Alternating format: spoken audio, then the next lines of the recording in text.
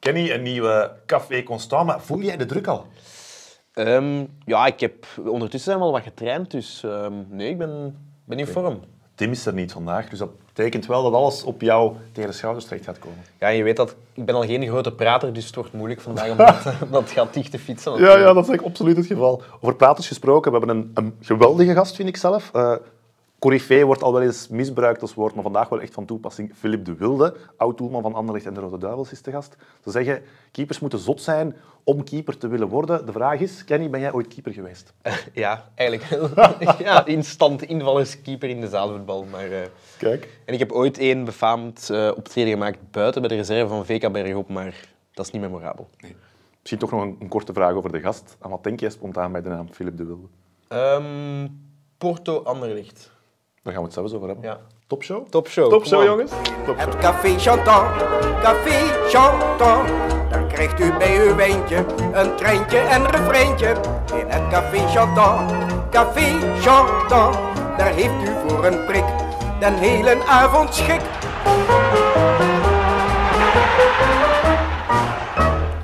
Een nieuwe Café Constant met toch wel een pracht van een gast hier in deze o fijne Promotime studio. Oud-doelman van de Rode Duivels en van Anderlecht is de gast, meneer Philippe de Wilde. Enchanté. Uh, goedemiddag. Goedemiddag. Eerst en vooral, je bent toch ongelooflijk fit? Uh, dat valt wel mee. Ik denk dat ik een jaar of tien wel een stuk fitter was dan nu. Oké. Okay. Ik ook, dus. Ja. maar ik heb wel een paar uh, ja, uh, akkefietjes. Mijn knie heeft het een beetje opgegeven, dus ik ben moeten stoppen met lopen. Okay. Uh, dan heb ik mijn schouder een keer geluxeerd met skiën en dan, dan, heb ik, uh, dan heb ik een beetje minder moeten gaan tennissen. en, en zo gaat het allemaal wat bergaf. ja. Uiteindelijk schiet dat op dit moment eigenlijk alleen zwemmen nog over. Oké. Okay. Dus is het niet meer in de fitness of zoiets? Nee, nee, nee, dat doe ik niet. Nee. nee? Maar ik denk ja, door het feit dat ik altijd fit geweest ben, dat, dat, ja. en ik, ik doe geen gekke dingen. Dat, uh, allee, ja. Ik ga niet elke week naar Frietkot of bij wijze van spreken. dus dus okay, dat, dat, dat, zal ook wel iets geschelen. Uh, maar ja, een goed glasje gaat er altijd soms wel in. Maar... Kijk, het is wel spuitwater, hè, vooral duidelijkheid voor de ja. mensen die aan het kijken zijn. Geen gekke ideeën krijgen. Nee, nee, ja, dus uh, ik ben met de motor, dus dat is zo echt een regel. Als ik met de motor rijd, dan, dan drink ik geen alcohol, zeker niet. Mooi. Je bent uh, tegenwoordig keepertrainer van de nationale U21. En je bent daarnaast ook actief in de politiek, meer bepaald bij de CD&V. Uh, ken je, ik ken niet veel oud-voetballers die actief zijn in de politiek. Goh, is dat soms ook niet het beste, denk ik? Philippe, Philippe heeft nu voor mij wel een wijze uitstraling en heeft altijd zo'n beetje het verstandige uitgestraald. Maar ja, ik denk toch de doorsnee voetballer dat hij misschien beter wegblijft van de politiek. Ja, en zo dacht ik ook altijd. Echt, ik heb altijd uh, eigenlijk. Dus er zijn zelfs artikels over verschenen van in de politiek ga ik nooit. En, ja. uh, je hebt je toch maar, laten vangen. Zeg, als ik me echt wil engageren, dan wil ik me ook maar echt engageren. Ik zeg, ja, dan moet je misschien proberen van mij. Als je een plaatsje hebt op de lijst, zet mij gewoon op de lijst staan. Hè. Mm -hmm. Dus zijn we op de lijst, zijn 100 boven 100, ben ik ook nog verkozen. dus, uh, maar ik ben vooral blij dat ik verkozen ben, omdat ik die, de ploeg die nu aan het bewind is, dat ik die echt Hoeveel uur per week ben je daarmee bezig, ongeveer? Niet, zoveel, nee. nee, ik ben echt uh, vooral... Ah, ik zit in een aantal commissies, wat één keer per maand doorgaat. Het is niet dat je elke week 20 uur in een of andere lokaal aan het vergaderen bent over van alles en Nee, nee. Dat, is, dat is vooral het werk van, de, van het college eigenlijk. Hè. En, gelukkig ben ik daar niet voor verkozen. Want, uh, ja, langs de ene kant, je wordt daar wel voor betaald natuurlijk. Hè. Dus, mm. maar die mensen worden, die zijn denk ik hun, hun loon dubbel en dik waard. Mm. Ja.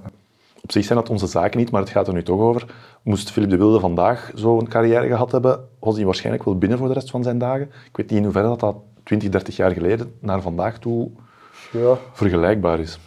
Wij vonden in de tijd al dat wij, dat wij goed betaald werden ten opzichte van de generatie voor ons. Ja. Uh, wij vonden dat eigenlijk ook al. En, uh, pff, moest ik uh, enkel voor mezelf moeten zorgen, dan zou dat ook eigenlijk geen probleem zijn om de rest van mijn dagen eigenlijk niks te doen. Hmm. Um, maar ja, je hebt, ik heb drie kinderen, dus je wilt toch ook dat die een beetje een goede start hebben. En, hmm. uh, een mens heeft er niks aan om, om met, met zijn geld in zijn graf te kruipen. Hè. dat heb je echt, het is, als, je, als je kinderen jong zijn en uh, zij, ze staan aan de start van hun leven, dan, uh, dan hebben ze eh, hebben ze daar meer aan dat je op dat moment hen kunt ondersteunen, als, eh, als dat ze het uiteindelijk moeten afwachten als, als erfenis of zoiets. Ja. Ja, en, eh, Je lijkt me ook niet de persoon om thuis te zitten en niks doen. Dus in die zin ben je ook gewoon graag bezig, vermoed ik. Ik ben graag bezig wel, ja. Het is niet dat ik, eh, niet zoals mijn vrouw die constant eh, in de weer is, maar eh, eh, die kan geen werk zien liggen of Ja. die, die moet eraan beginnen. Eh, ik kan daar wel over kijken of zo. Dat is een goed gerief voor in huis te hebben. Zo, ja. ja, dat is, wel, dat is wel waar, maar ja. Maar ik heb ook Nee. zo'n goede vriendin, dus dat is gewoon zo. Die, eh, Nee, maar weet je, dat is ge- ge- ge- gerold daarin en dat is zo een, een beetje een traditionele eh, Rolverdeling. rolverdeling eigenlijk wel. Ja, dat is zo, ja. Goh, wil ik dat? Nee, ik, ik, ik doe echt wel. Ik, ik, ik doe wel, maar allee, wij vinden het altijd, ik weet niet hoeveel dat wij doen, maar als je dat eigenlijk vergelijkt met, met wat de andere helft van, van het echtpaar doet, dan is dat eigenlijk niks. Is er nog marge? Er is zeker nog marge. Oké. Het is natuurlijk ook een podcast over, eh, over Anderlecht. Ga je nog regelmatig naar Anderlecht kijken? Nee, ik denk zo gemiddeld één keer per jaar of zoiets. denk ik. En vaak als ik uitgenodigd ben of zoiets. Niet uit eigen beslissing. Nee, nee. Nu, het is, het is ook de laatste jaren heel veel veranderd. En, eh, ik denk dat met, eh, met David Stegen de laatste, de laatste binding de- dat nu verdwenen is, da- daar kon ik zo nog eens naar... eh, daar kon ik nog eens contact mee opnemen als ik ergens een kaartje nodig had of zoiets. Eh, maar dan met Herman van Olsbeek en dan de secretaresse en zo. De, die, daar kon ik nog eens naar bellen. En als ik zei van, oh god, ze spelen Champions League tegen Bayern München of zoiets. Dat je zegt van, godverdomme, dat zou ik toch echt wel een keer willen zien. Dan kon ik nog wel bellen. Eh, niet dat je dan door de grote poort ontvangen wordt, ver van. Maar eh, Hoe ging dat dan? Via gewoon de ingang van de gewone supporter? Of? ja, je, mag- je- eigenlijk mag... Maar ja, ik beschouw dat dan, ik mag al blij zijn dat ik een kaartje krijg.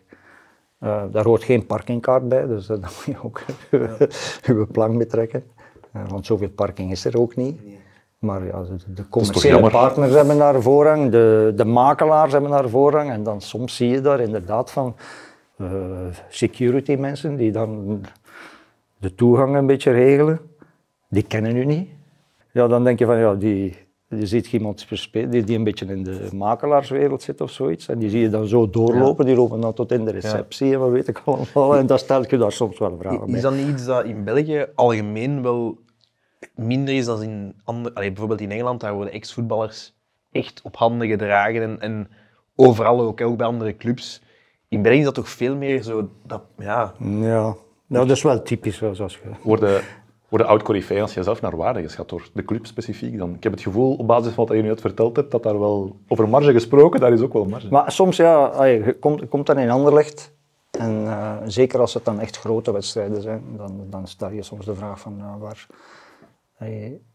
Maar het heeft ook een beetje te maken met, en, en daar ben ik me dan ook wel van bewust, met het, met het plaatsgebrek dat er is. ja dat, is, dat is gelijk die finales nu, waar dat Feyenoord en die hadden nauwelijks kaarten. Hè. Dat was in zo'n klein stadion, dat, dat uh, AS Roma Feyenoord. Ja. Of, of wat de andere finale trouwens ook met Frankfurt tegen kom, uh, UEFA League dit jaar. Mm. Die hadden 100.000 aanvragen en hadden maar 13.000 kaarten of zo. Als het al zoveel was. En dat zijn zaken, en dan vraag je je af waar gaan die ticketten naartoe. Hè? Dat is een beetje de supporter. Maar dat is nog vind- veel, hè, 30.000. Ja, ja, tuurlijk. Maar ja, voor zo'n match. Hè. Ja. Maar ik, ik- ik vind gewoon in het algemeen, ik zou het op structurele... Ik weet dat dat ook niet haalbaar is om al uw ex-spelers of al uw... Maar ja, bon, je hebt, ook, je hebt wel wat tijd gespendeerd op Anderlecht. Dan zou je toch denken dat dat structureel toch een beetje onderhouden wordt. Hè.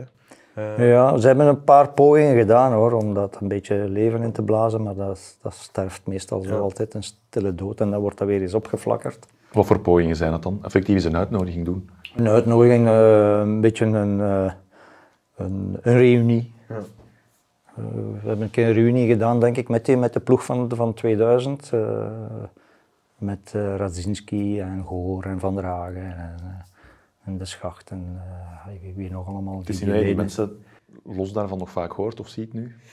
Nauwelijks. Eh, pff. ja, ik werk nu met Olivier de Schacht, werk ik nu in de, de beloften. ja. Dus hij, hij is daar eh, assistent geworden. Mhm. Eh, Yves van der Hagen kom ik sporadisch wel tegen. Ja, Die heb ik tegengekomen door, door het feit dat eh, Olivier dan zijn afscheidsmatch gespeeld heeft. ja. En dan zie je elkaar nog eens en dan, eh, ja, da- dan ontmoet je daar een nieuwe generatie van spelers. Eh, Op zijn afscheidsmatch, ja, daar was dan eh eh, Jovanovic was daar. En Boussoufa was daar, en Juas was daar, en Vasilevski was daar. En zeg je, oh, wauw. Allee, ja. Ik vind dat mooi hoe jij daarover praat. Zo, ja, dat je daar zo toch...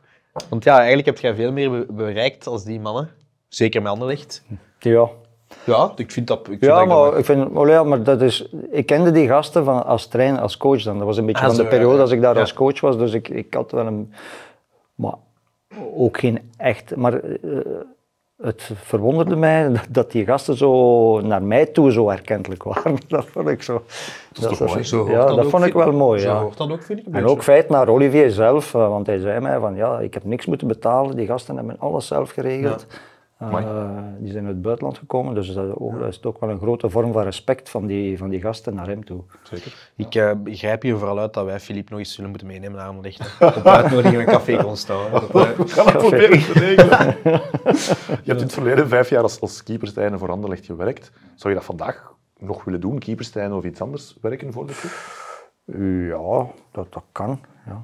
dat kunnen wij wel regelen. Nee, nee. nee. Die ketting gaat nog lukken, maar- maar ik denk dat die tijd zo stilletjes aan, eh, ja, dat, dat, dat, dat wel een beetje geweest is.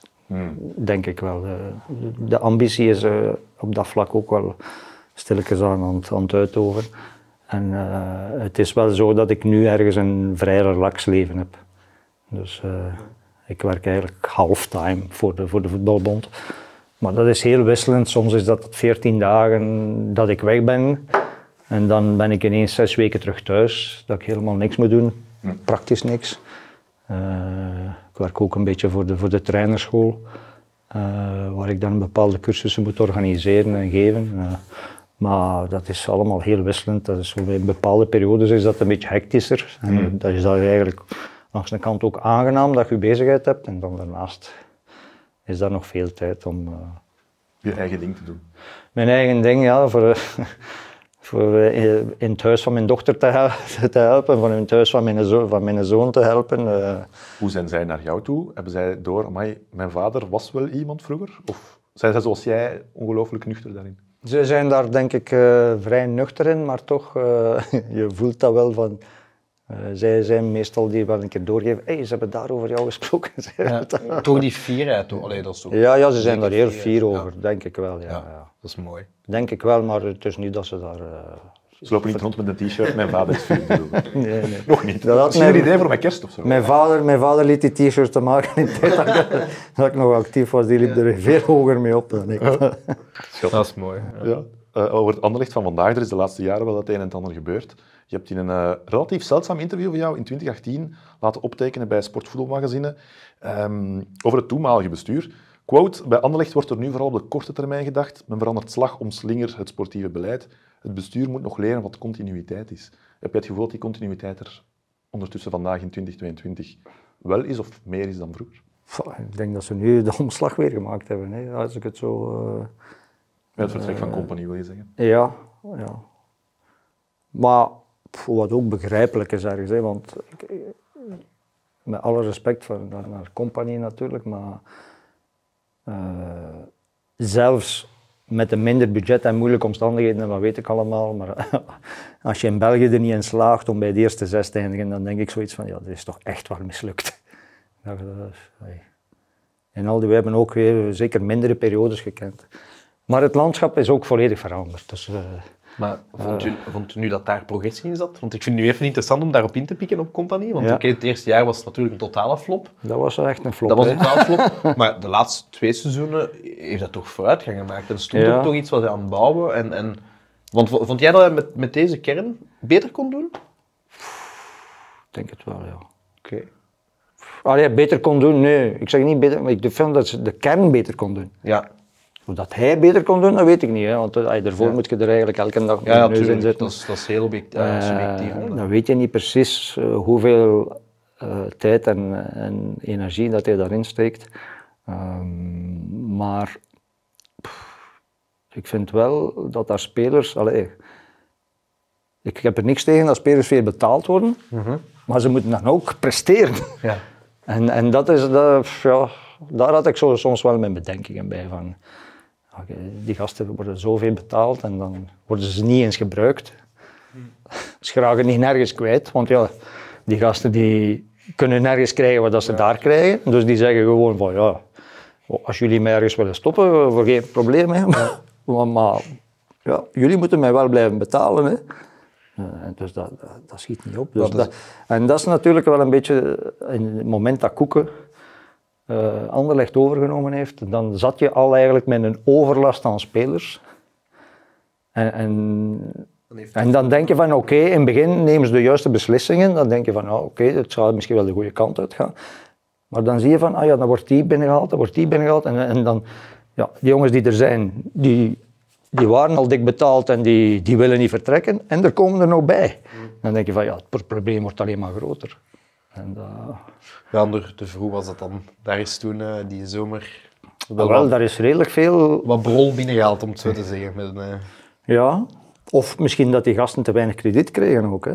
Door het feit dat er overaanbod van spelers, ja, dan, dan, Allee, ik, ben, heb zo'n tijdje voor eh, Waasland Beveren eh, gewerkt en het, het paradoxale aan gans dat verhaal is eigenlijk van, van, eh, in het begin zeiden ze van er is geen geld, in tegendeel er zijn schulden.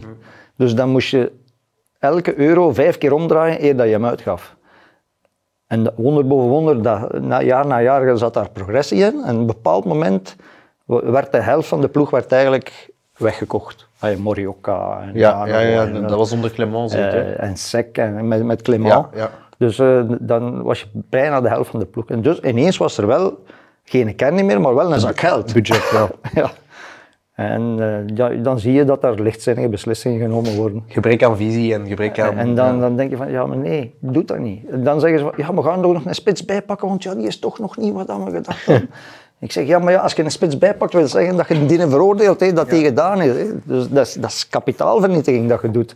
Maar dan, daar wordt dan overgestapt. Ze zeggen, ja, ja, nee, maar ja, Veel, veel geld is leuk, maar veel geld in de juiste handen is nog leuker. hè. is nog leuk. Ja, Ja, En dat, eh, een beetje visie op, een beetje op lange termijn, om op uw verhaal terug te komen.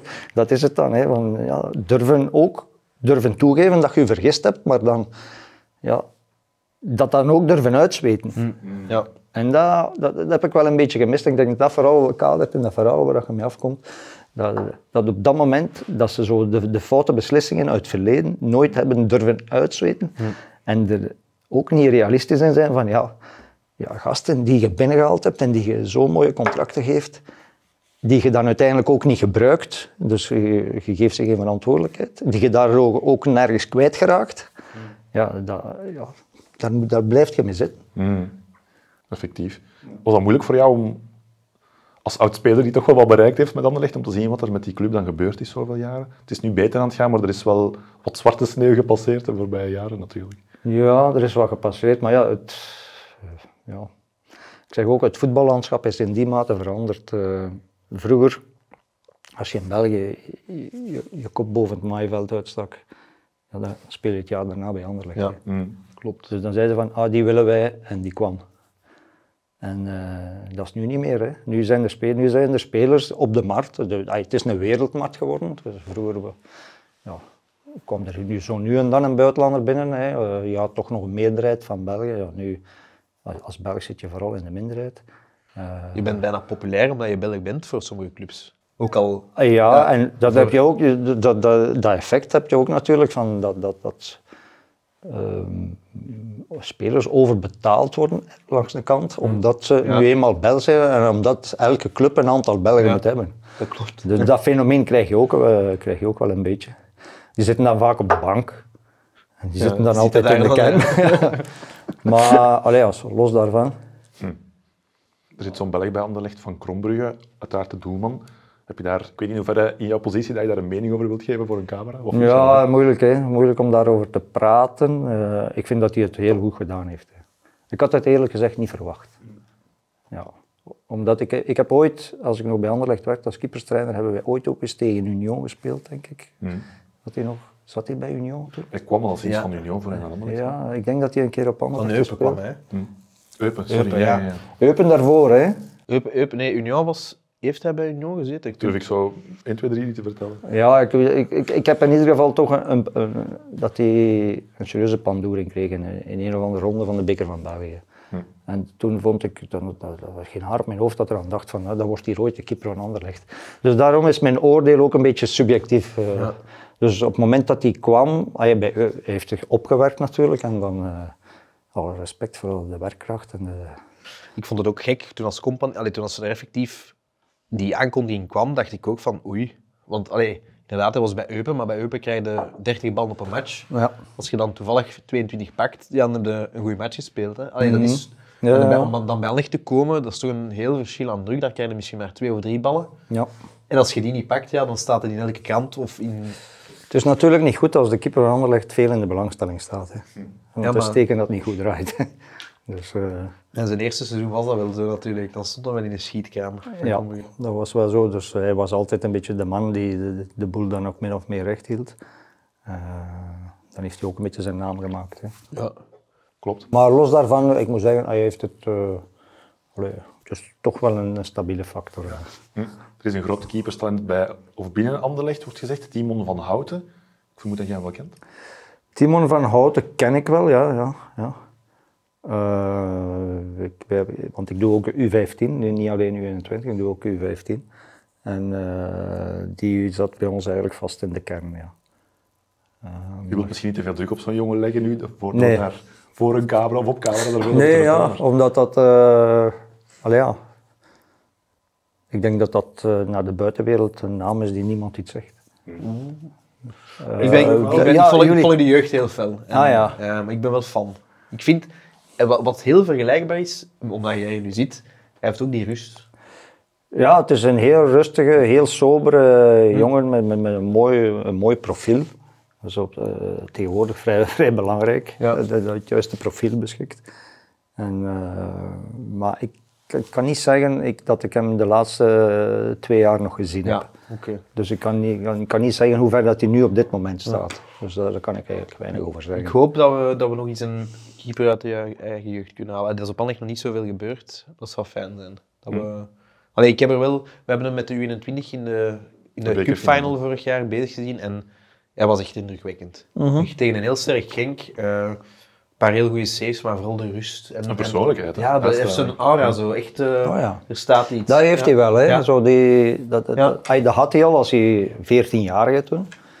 Eh, ik denk dat hij nu ja, 17 is of zoiets. Ja, 17, 18 dan, Ja. ja. Ehm, dus dat had hij wel. Dus, Ja. eh, maar ik kan er eigenlijk op dit moment weinig van zeggen, want ik kan daar ook niet. Het, het is ook niet, denk ik niet, dat hij zijn lichting ook eerste keuze is eh, bij de nationale ploeg, denk ik. Ja, maar dat is dan met, is dat die generatie Shinton van Bruggen en zo, zit die daar ook niet tussen? die, eh, die is ouder. die is ouder? Die, dat is nu de generatie die nu bij mij zit, Ja. bij Ja. 21. Want wie zijn nu de doelmannen bij jullie dan? Dat is Shinton van der Voort en En Senne Lammers, Senne Lammers, ja. ja, de tweede keeper van Club Brugge. Ja. die een enorme progressie gemaakt heeft. Hè. Ze- Ja, echt, dat- die, ik heb dus, allee, in principe is, eh, is eh, Maarten van der Voort nummer één.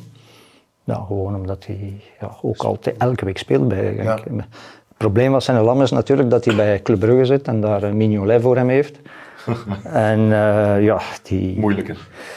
Maar ja, oké, wel een, ook goede leerschool toch? Als Maar een goede leerschool kunt- natuurlijk. ja. En ik moet zeggen, ik heb geen enkel schrik als Maarten om een of andere reden niet beschikbaar is. Om- ja. Dan vind ik eigenlijk dat, dat er qua Intrinsieke kwaliteit. eh, intrinsieke kwaliteiten weinig verschil is.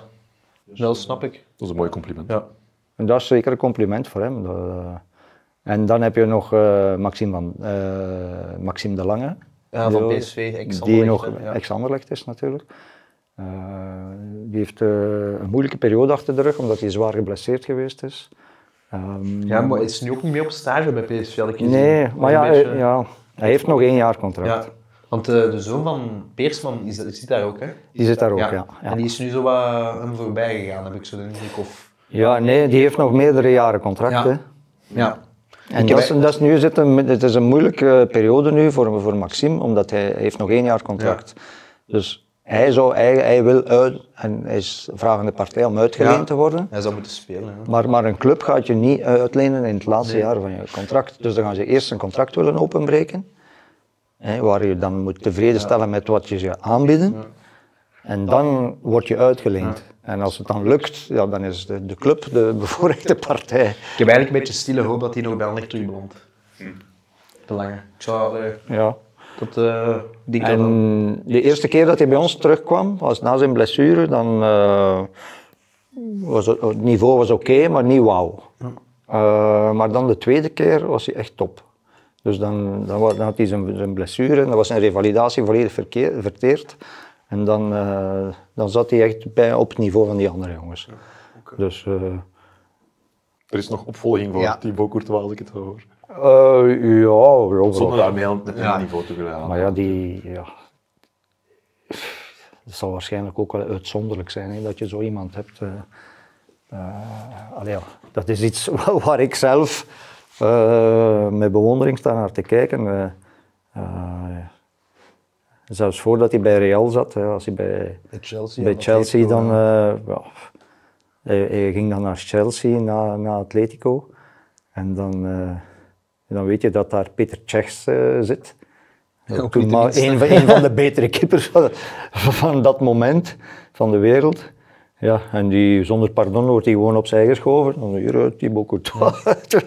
het is toch echt... eh allee, en dus, eh, ja. dus wij waren dan nog een beetje eh, nationale helden, min of meer. Zo. En, maar ja, dan heb je zo van die gasten die internationaal zo... ah, ja, Zo ongelooflijk goed zijn. Ja. zo ja, en die speelt nu bij de beste club van de wereld. Champions League. Champions League gewoon. Champions League gewonnen met een minder, Ja. tussen aanhalingstekens, Eigenlijk zou minder presterende ploeg, Ja. Zou ik zo durven zeggen. Ja, eigenlijk ultima... Wel, op de momenten dat het moest, stonden ze er wel. Hè. Eh, dat... Ja, maar die hebben die, die intrinsieke Ja. kwaliteiten, maar ja, het is een beetje inherent dan toch dat, dat, dat zo, of die gasten dat dan blijkbaar niet elke week kunnen opbrengen. Bah, Ook de leeftijd, denk ik, die al begint mee te spelen. spelen kampioenen in de Champions League. Daarmee. Het kan slechter. Ja, het kan slecht. Ja, Als ze als spelen als kampioen omdat er, omdat er niemand... eh, ja, dat is waar. om, Ja. allee, omdat ook die andere ploegen een beetje hetzelfde fenomeen kampen. Ja. Eh, ja, Atletico Madrid is altijd zo'n beetje net niet. En dan eh, ja, Barcelona, Barcelona is een beetje- sommige jaren steken ze daar... eh, Barcelona is een beetje Anderlecht nu, hè. maar dan in andere budgetten. Ook aan een herbouw, heropbouw bezig. ja. Ja. Iets andere budgetten inderdaad. We, gaan, we gaan beginnen grasduinen door jouw toch wel grote carrière bij Anderlecht. Eh, er valt ook veel te bespreken. Ik ga beginnen met een vraag eh, voor jou, Kenny. Filip de Wilde werd zeven keer kampioen van België, zes keer met Anderlecht. Met welke ploeg nog? Beveren. Beveren, Ik heb mijn huiswerk gemaakt. Ja, ja, ik merk het. Ik merk Ik het. heb, eh, Beveren had toen wel vaker eh goede doelmannen. Hè. Faf, jezelf, De Vlieger, Lemmens. Was dat toeval? Zat er iets in dat water? Of? Peersman. Ja. Weersman? Ja. Ja. Eh, nee, maar ik, eh, ik weet in de tijd toen ik naar Bever ging, eh, toen zat het voetbal nog helemaal anders in elkaar dan nu. Hè. Je had niet die elite jeugd eh, die al vanaf, eh, vanaf tien jaar eh, nationaal speelt. Toen in de tijd was Hut van Hut was, de UEFA junioren. Hè. En dat was dan nog in reeks A, reeks B, het zuiden van het land en het noorden van het land. Ehm, dus als je dan naar Bever kon gaan, dan was dat om bij de UEFA's te gaan spelen, dan was dat al heel wat. Ehm, maar op het moment dat ik in Beveren toekwam, het jaar daarvoor waren de provinciale scholieren van Beveren nationaal kampioen geworden. Dus die hadden ook in de eindrondes en alles. eh, ja, ik moest dan natuurlijk de keeper verdringen die daar met, met die ploeg gespeeld had. Plus, daar waren er nog vijf anderen. Dus ik weet dat we daar met zes keepers waren. Eigenlijk om dan eh, in principe voor twee plaatsen en dan eigenlijk, ja, eigenlijk maar voor één plaats. Hè. Had je snel door, ik ben hier wel beter dan die anderen. Je gaat dat niet meteen zeggen, denk ik, zoals ik jou een beetje kan inschatten. Ja. Ja, dat was wel verrassend voor mij. Dat was eerst, eh, ik was gewoon van in een ploeg met Eendracht Zelen. Ai, Het grote voordeel was dat wij in de provinciale reeksen wel tegen Gent, tegen Lokeren, tegen Beveren mochten spelen. Ja, een En sterke tegen reeks, Sint-Niklaas, dus dat was een sterke, sterke reeks. En, eh, en wij, wij hadden niet zo'n ploeg die laatste stond of voorlaatste, we hadden zo'n ploeg die daar net onder zo. Die konden wel een keer uitschieters, uitschieters hebben, een keer tegen Gent een keer winnen, of een keer tegen, tegen eh, Beveren een keer winnen, of Lokeren. Ehm, Maar we hadden wel zo'n ploeg zo goed georganiseerd. En we hadden een andere kant, we hadden een goede spits, Hans Christiaans. eh, Die dan ook international Ja. ooit is geweest is. Eh, en bij Brugge gespeeld heeft. Ja, dat is En bij Waregem. een mooie carrière gehad. Ja. Dus ook een mooie carrière gehad heeft. Maar ja, ik stond dan in de goal en hij was dan de spits. Dus wij konden altijd op de tegenaanval wel iets doen. Eh, maar dat was altijd goed georganiseerd, dus dat was voor mij wel een goede leerschool. En dan, eh, maar ja, ik was de enigste keeper, hè, dus er was, er was geen... Allee, ja. We hadden wel gewestelijke en daar stond ook een keeper, maar ja, wij gingen naar de match met één keeper. Ja. Weinig zorgen voor u dan. Ja, en dan ineens kom je dan in een omgeving waar dat je ineens vijf, met vijf of zes keepers eh, af te maken, eh, af te rekenen hebt. Ja. Maar pff, ik heb me daar eigenlijk eh, weinig vragen over gesteld. En dat liep, ja, dat liep eigenlijk vrij, eh, vrij goed van in het begin. Eh, in het begin, ja, dat is een beetje raar dat je niet alle vriendenmatchen mag spelen, dan je één op twee. Eh, dat was dan vrij duidelijk wie dat er eigenlijk in de weegschaal lag. Eh, maar Weet je nog wie die andere keeper was? Is daar nog iets van gekomen? Op Daar is eigenlijk niks van gekomen hè, van die jongens, geen enkele. Je was een tiener toen je in de eerste ploeg van Beveren kwam, 16, 17 jaar. 17, ja. Vandaag de dag is het wel normaler dat er 16, 17, 18-jarigen al in de eerste ploeg komen. In die periode was dat denk ik wel anders. Eh, ik weet niet of dat dan zo normaal is nu. Zeker als 17? doelman ben je toch meestal Echt rijper, wel. hè? Ja, toch als keeper zie je Ja. het heel weinig. Casillas is een voorbeeld dat spontaan naar boven komt. Dan spreek je over de wereldtop. Ja. Maar ja, Casillas won op zijn achttiende won die Champions League. En hij was dan nog eens bepalend. Dat was ook nog eh, een beetje zoals nu Courtois. Ja, tien jaar verschil. en ook een ander profiel. Hè. Dus ja, Courtois is eh, ja, het profiel waar iedereen op dit, op dit moment naar zoekt in de wereld. Iemand van twee meter met die enorm explosief is. Ja. Maar jij bent, jij bent na FAF gekomen, dat klopt hè? Ja. Toen maar FAF vert- vertrok, kwam... Ah, wel, eh, maar ja, soms moet je gewoon een beetje geluk hebben Ja. in je carrière ook. Hè. Eh, Het was geen haar op mijn hoofd dat er aan dacht dat ik ooit profvoetballer kon worden. Ja. Eh, In tegenstelling met nu, jongens die, die gaan op 10 jaar, of op 12 jaar, of op 14 jaar gaan die naar een, een grote club. Zijn En dan denken die alleen ja. nog maar aan profvoetballer zijn.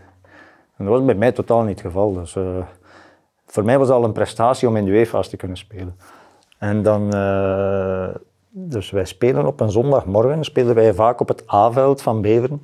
En dan de, de zondagnamiddag moest, eh, denk ik, de, de ploeg van Beveren moest op verplaatsing spelen. En dat, dat kwamen die samen om 11 uur op het stadion. Waardoor dat eigenlijk een trainer van de eerste ploeg, Ben Braams in de tijd, die, die kwam naar de match, naar de eerste helft kijken. En ik speel daar een, van, ai, een heel goede match tegen Lierse, weet ik nog altijd. Met een enorme blunder. Ook een verschrikkelijk, verschrikkelijke blunder. Maar ik speel daar een, van, ai, een heel goede match met, met, ja. met een blunder. Eh, en dan eh, in de week spelen zij Europees. Uh, Bever speelde toen Ja, Europees. Eh, zij spelen op Linfield en Jean-Marie kwetst zich daar. En hij was niet beschikbaar voor het weekend. En Urban Braams had geen vertrouwen in de toenmalige tweede keeper dan, Chris Vissers. Ehm, en, die, en die zei van, nou, we gaan die, eh, gaan die kleine van, van de UEFA's gaan we. En zo heb ik mijn eerste match gespeeld en dan, goh, wij verliezen 1-0 op winterslag. Maar ik speel daar eigenlijk ook een hele goede match, alles zat mee. eh. Eh, ook eh, veel hoge ballen, omdat die gasten, ja, die gooien natuurlijk niet anders als voorzet. Nu denk je zo'n een gast van 17 jaar in de goal en ik ging die allemaal halen. En ik was dan ook figuur van de dag. Zo, dat was vroeger in het nieuwsblad, was Ja. dat zo'n figuur van de dag.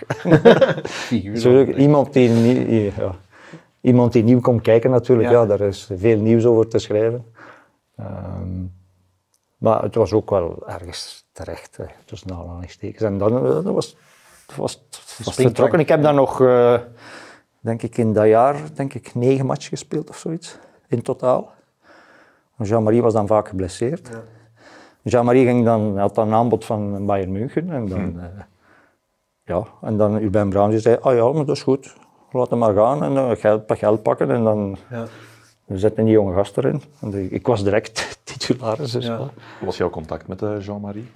Jean-Marie, hij- Jean-Marie was de prof, hij was de man natuurlijk. En, En gedroeg zich ook zo, als ik tussen de regels van luister. nee, dat niet. Ik doe Dat, maar ja, Bever was nog een amateurploeg eigenlijk. Hè. Wij trainden s'avonds om half zes. Ja. En dan vaak, eh, ja, Jean-Marie die had dan zijn keeperstraining eh, om vier uur in de middag of om drie uur. En ik denk dat hij dat zelf een beetje kon beslissen. Zo. Wanneer dat een trainde. Ja, wel, ik denk het wel, ja. En dan, naar het einde van de week was hij dan wel met de ploeg en zo. Maar dan ook zo, als Jean-Marie met, met, met de A-kern er was, dan trainde ik gewoon met UEFA's. En ik ging overdag naar school, Ja. want ik zat in, in, in de zesde in Majora. En ik ging s'avonds trainen met UEFA's. En als Jean-Marie dan gekwetst was, dan zei ze van, ah ja, en, en dan, en dan kon ik om half zes s'avonds kon ik gaan trainen met de eerste ploeg. Dus eigenlijk eh, alleen op, dat is zo één anekdote van eh, dat ik, eh, ja, wij moesten dan Beker van België spelen, ik denk tegen Waterschijn. En dan, Bever ging dan in- uitzonderlijk voor de Beker van België ging zijn afzondering. En dan, ik had dan zo'n radio mee met cd's en, of, of met cassettes, ik weet het niet wat. Zelfs dan. En, en ik zette dan nogal luid, zo boem op de kamer. Zo. En de Jean-Marie zo, "Eh, ik kon dat hier niet wat stiller, want die Jean-Marie die was slaap. Die was al prof op dat moment. En ik, met alle respect, maar ik was echt een, was echt een amateur. ik had er nog ja. nooit een, ja, een puber, maar ook een amateur puur sang. Hè. Ja. Pff, slapen in de middag, allee, voor wat? Het is niet dat je veel contact had met hem dan, gezien zijn trainingsschema. Ja, ik had heel weinig contact met hem. We hebben elkaar dan nog zo nu en dan wel tegen het lijf gelopen, maar niet zo Hoe reageerde die tweede doelman? Vraag ik me af. Dat hij dan opzij geschoven werd? Allee, Ja, die, die was ergens blij. Huh? Had ik zo de indruk dat hij... Geen verantwoordelijkheid. Maar die kwam zelf al... Allee, die was het eerste jaar dat hij in Beveren was en die kwam eigenlijk zelf vanuit derde klasse kwam Ja. die naar Beveren. Dus eh, die had eigenlijk zo van iets van, ja, dat, is eigenlijk, dat niveau kan ik misschien wel niet aan of weet ik veel. En dan, Beter is lang die was was, blijven zitten. En, en, Ja. Ja, ja, maar die ging dan ook altijd mee. hè. Dus de, financieel was dat wel oké voor hem, omdat hij dan... eh, De winst Eh, meepakten of... Ja. ja. Ja. En dan als Jean-Marie er was natuurlijk, zo weer te beter. Ja, de keeper van de nationale ploeg. En als, eh, en als ik dan speelde, dan, was het ook- dan, dan ging het eigenlijk ook vrij goed. Ja. En voor jou geen bedreiging, want hij wil jouw plaats niet innemen. Eh, ja, dus ja, dus, ja. Een goede situatie ligt. Ja, en dan het jaar daarna, want die, die is dan ook weggegaan. En dan is Dirk Rosé, die speelde toen in Eendracht Aalst, die is dan teruggekomen. En ik denk dat hij dan vier of vijf jaar bij mij, eh, vier jaar dan bij mij doublure, of vijf jaar doublure geweest is van mij. Dirk Rosé, ja. In 87 ga jij naar Anderlecht, daar staat een monument in de goal met Ja. Jackie Minaro. Ja. Eh, het seizoen daarop word je eigenlijk pas echt titularis bij Anderlecht. Hoe was in het eerste seizoen jouw relatie met Minaro? Ik kan die niet echt goed inschatten als persoon, omdat hij zich... Eh, maar Jackie is daarna nog mijn keepertrein geworden. Ja. Hè? Dus eh, we hebben daarna wel eh, een goede relatie. Op dat moment was dat natuurlijk wel een beetje... Moeilijk. Ja, omdat... eh, Volgens dat ik hoorde van jongens uit de kern toen... eh, ik kwam eigenlijk wel met een redelijke reputatie. Maar ik was met Beveren, allee, wij speelden elk jaar Europees. En, Kampioen geworden. wij waren, we hadden het eerste jaar dat ik de beker won, het tweede jaar kampioen. En ook twee seizoenen gehad dat zo wat... Zo, pff, weet je, kon mij niks meer gebeuren. Hè. Ja. Tot ik eigenlijk een beetje in het laatste jaar van mijn contract toch wel een beetje wakker geschud was van, ik zeg, ja, zo, dat is niet genoeg. Hè. Beetje opletten. Ja, dat, ai, dat- op die manier gaat het alleen maar bergaf gaan. Hè. En dan, eh, ik speel ik echt waar, mijn beste seizoen eigenlijk mijn laatste jaar bij Beveren. Dat speel ik echt mijn beste seizoen. De ploeg was wat minder, maar ik speelde echt top. En, eh, Was dat bij Anderlecht moeilijk om dan een seizoen op de bank te zitten? Want je hebt bij Beven al wel wat gepresteerd. ja, ah, wel, ik, ik, kwam, ik kwam daar met een zekere reputatie toe en dan, eh, ik speelde eigenlijk een vrij goede voorbereiding. Eh, en de spelers waren eigenlijk een beetje, Jackie, langs een klein beetje, een beetje moe.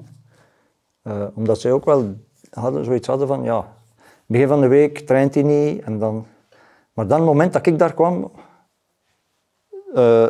heeft hij geen enkel training niet meer gemist. Ook Hij voelde altijd- het ook heet worden.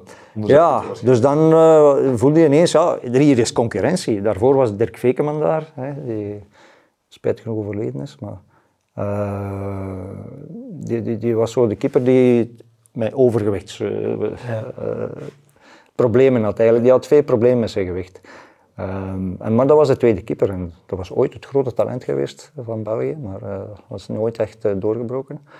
Ehm, en dan kwam ik natuurlijk en dan ja, dat heeft uh, Jackie dan op dat moment wel, wel wakker geschud. Dat, en ik moet zeggen, ik, ik werd daar ziek van. Want ik speelde een goede voorbereiding. Maar dan de laatste match speelden we tegen Inter Milan, zo de gala-match, mm. voor het begin van het seizoen, tegen Enzo Schifo. En hij, dan... hij, speelt, denk ik. Hè? Enzo scoort zelfs. Ja, en Ros, dat speelt, hè? Uh, uh, ik speelde. Ja, speelt, ja. Want Jackie, ja, dat we, George Lekes was toen coach. En die had, dan, die had eigenlijk in het begin een duidelijke rol. Uh, jij speelt die match, jij speelt die match. ombeurt. Speelde een match, dat was op voorhand allemaal uitgeklaard. En dan, om een of andere reden, draait hij die volgorde om. Hm. Op een bepaald moment. En Jackie, bij Jackie is dat volledig in de verkeerde keelgat gesprongen en die, die is, is in een auto gesprongen, die is naar huis gereden. Die is niet meegegaan naar de, de voorlaatste vriendenmatch. Dus dan dacht ik van, oh ja, het is hier, geregeld, in mijn, mijn optiek. Uh, maar het was wel niet zo handig van Leeks natuurlijk dat hij ons daar niet over geïnformeerd had. Van kijk, ik, om die en die reden gaan we de volgorde om, heeft hij niks van gezegd. Hmm. Dat was natuurlijk wel fout. En dat heeft die reactie wel wat geprovoceerd. Maar voor mij was dat allemaal oké. Maar we speelden dan die laatste match tegen Inter Milan en ik speelde daar eigenlijk eerst na vrij goed. Uh, Nico de Bree was toen keeperstrainer. Daar heb ik ook altijd wel een goede relatie mee gehad met Nico. En ehm, en Nico die, die, die, die, was daar een beetje lovend wel over. Maar dan, de tweede helft, komt daar zo'n voorzet. Een uitdraaiende voorzet. En ik speelde vrij offensief in die tijd. Zo, echt zo. Met veel vertrouwen, veel lef. Van de jonge keeper. Ja. ja en dan... Uh, en, en, ik roep. Maar ik zie aan alles dat Adrie van Tichelen dat hij die bal niet gaat laten. En die trapt valikant los over die bal. Maar ondertussen was ik al gestopt. En die bal gaat door. En dan komt Enzo, die komt tussen mij en Adrie in en boom, die, die loopt die bal binnen. Gans dat stadion op en ik op mijn dak. dus ja, want ja, Jackie was inderdaad de held van Anderlecht. Was populair, ja. hij was heel populair. En dan, uh, ja, eerste match van het seizoen, thuis tegen Charleroi denk ik. Ja. Jackie speelt dan een wereldpartij. Hij speelde, ik op de bank en ik werd daar ziek van. Hm. Ik, ik, ik heb het was een lang seizoen voor jou. Het was een lang seizoen en ik, werd daar, ik ging daar kapot aan. Ik, ik vermagerde zinderogen. Ik denk dat ik nog 70 kilo woog. Ja. Uh, ik kon niet meer eten, mijn eten verteerde niet. Uh, ik werd daar helemaal... Ik was dat niet gewoon. Hè. Ik ja. was niet gewoon van, van niet te spelen. Ja. Dat was echt... Uh... Was het dan dat jij die symptomen had, zal ik wel zeggen, omdat je niet speelde? Of was dat ook omdat je de stress voelde en de niet bepaald amicale sfeer in de kleedkamer? Ik zal het zo verwoorden. Maar ik kreeg wel steun zo, van de spelers, maar ja, die, die zijn ook met hun eigen bezig. Hè. Hm. Echt, hè. Ja, en, en, ja, die, die, Als je niet die speelt, valt er zo wel naast, hè? Ja, ja, dan, dan allee, ja, wel, ja. Dat zo waar... Maar dat ging zo, ja, dat ging zo stilletjes. In het begin ging dat dan, maar dan, na nieuwjaar ging dat echt bergaf ja. met mij. En ik, ik om duren, ja, door het feit dat je dat je niet goed kunt eten, ja, dan, dan, dan je hebt minder kracht en, en, dan gaan je prestaties gaan eronder lijden. En, uh, ja, mijn groot geluk was dat er was gewoon niemand anders. Hè. Ja. Uh, het seizoen gaat uit en geen seconde gespeeld, maar ook geen seconde. Hè. George Lekers was dan verdwenen en dan was Raymond Goethals werd dan coach. En dan Anderlecht wint de beker op het einde van het seizoen, denk ik. Wel, ik denk, eigenlijk een matig seizoen hoor, want uh, ik denk dat wij competitie vierde eindigen of zoiets. Zo, maar wel de beker van België, want ja, de, ja beker van België tegen Standaard denk ik. Um, het nieuwe seizoen begint, ja, dan natuurlijk de waardeverhouding. Ja, Jackie eerste keeper, ik tweede keeper. Ja. Maar na denk een match of 4-5 uh, scheurt uh, Jackie zijn patellapees. Ja. Vreselijke blessure ook, hè? Ja. En dan uh, de rest van de eerste ronde heb ik gespeeld. En uh, in het begin, pff, zo wat. Toch wel nerveus ja, ook dan? Omdat ik, eh, de, de, druk dan ook? Of, of? Ja, ook maar gewoon omdat ik nog niet op topniveau was. Ik was nog fysiek totaal nog niet klaar, maar ja, ik moest ik spelen. En dan, maar dat ging wel zo in stijgende lijn. Ik kreeg ook meer vertrouwen. Ja. En dan, op een bepaald moment was ik helemaal terug. En dan uh, was, kwam de winterstop en wij spelen tegen mijn broer. Uh, in de beker van België tegen Hamme. Ja. En De Hammen die willen, die kost wat kost, die willen thuis spelen op kerstdag.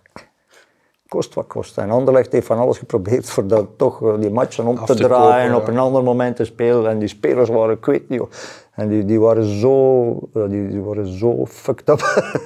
dat die, ah, we hebben daar 0-8 gewonnen op, op, eh, op Hammen. En mijn broer dan aan de andere kant in de goal. We hadden de avond ervoor op kerstavond samen aan tafel gezeten. Allee. Ja, alle twee om 11 uur in ons bed. Ja, gezellig. Ja. En dan zondags 0-8. En dan de terugmatch, kort na nieuwjaar, de eerste match na, na de winterstop, is het dan thuis tegen Hamme. Het was 1 en terug. En dan heeft de Hamme 1-1 gespeeld. En mijn broer was echt, Lyrisch. die was fantastisch. Die, die, heeft, die heeft daar een match gespeeld, de match van zijn leven gespeeld. Eh, ik weet nog dat... en Raymond Goethals was dan coach. Hij zet Jackie in de goal, Ja. ik op de bank, terug op de bank.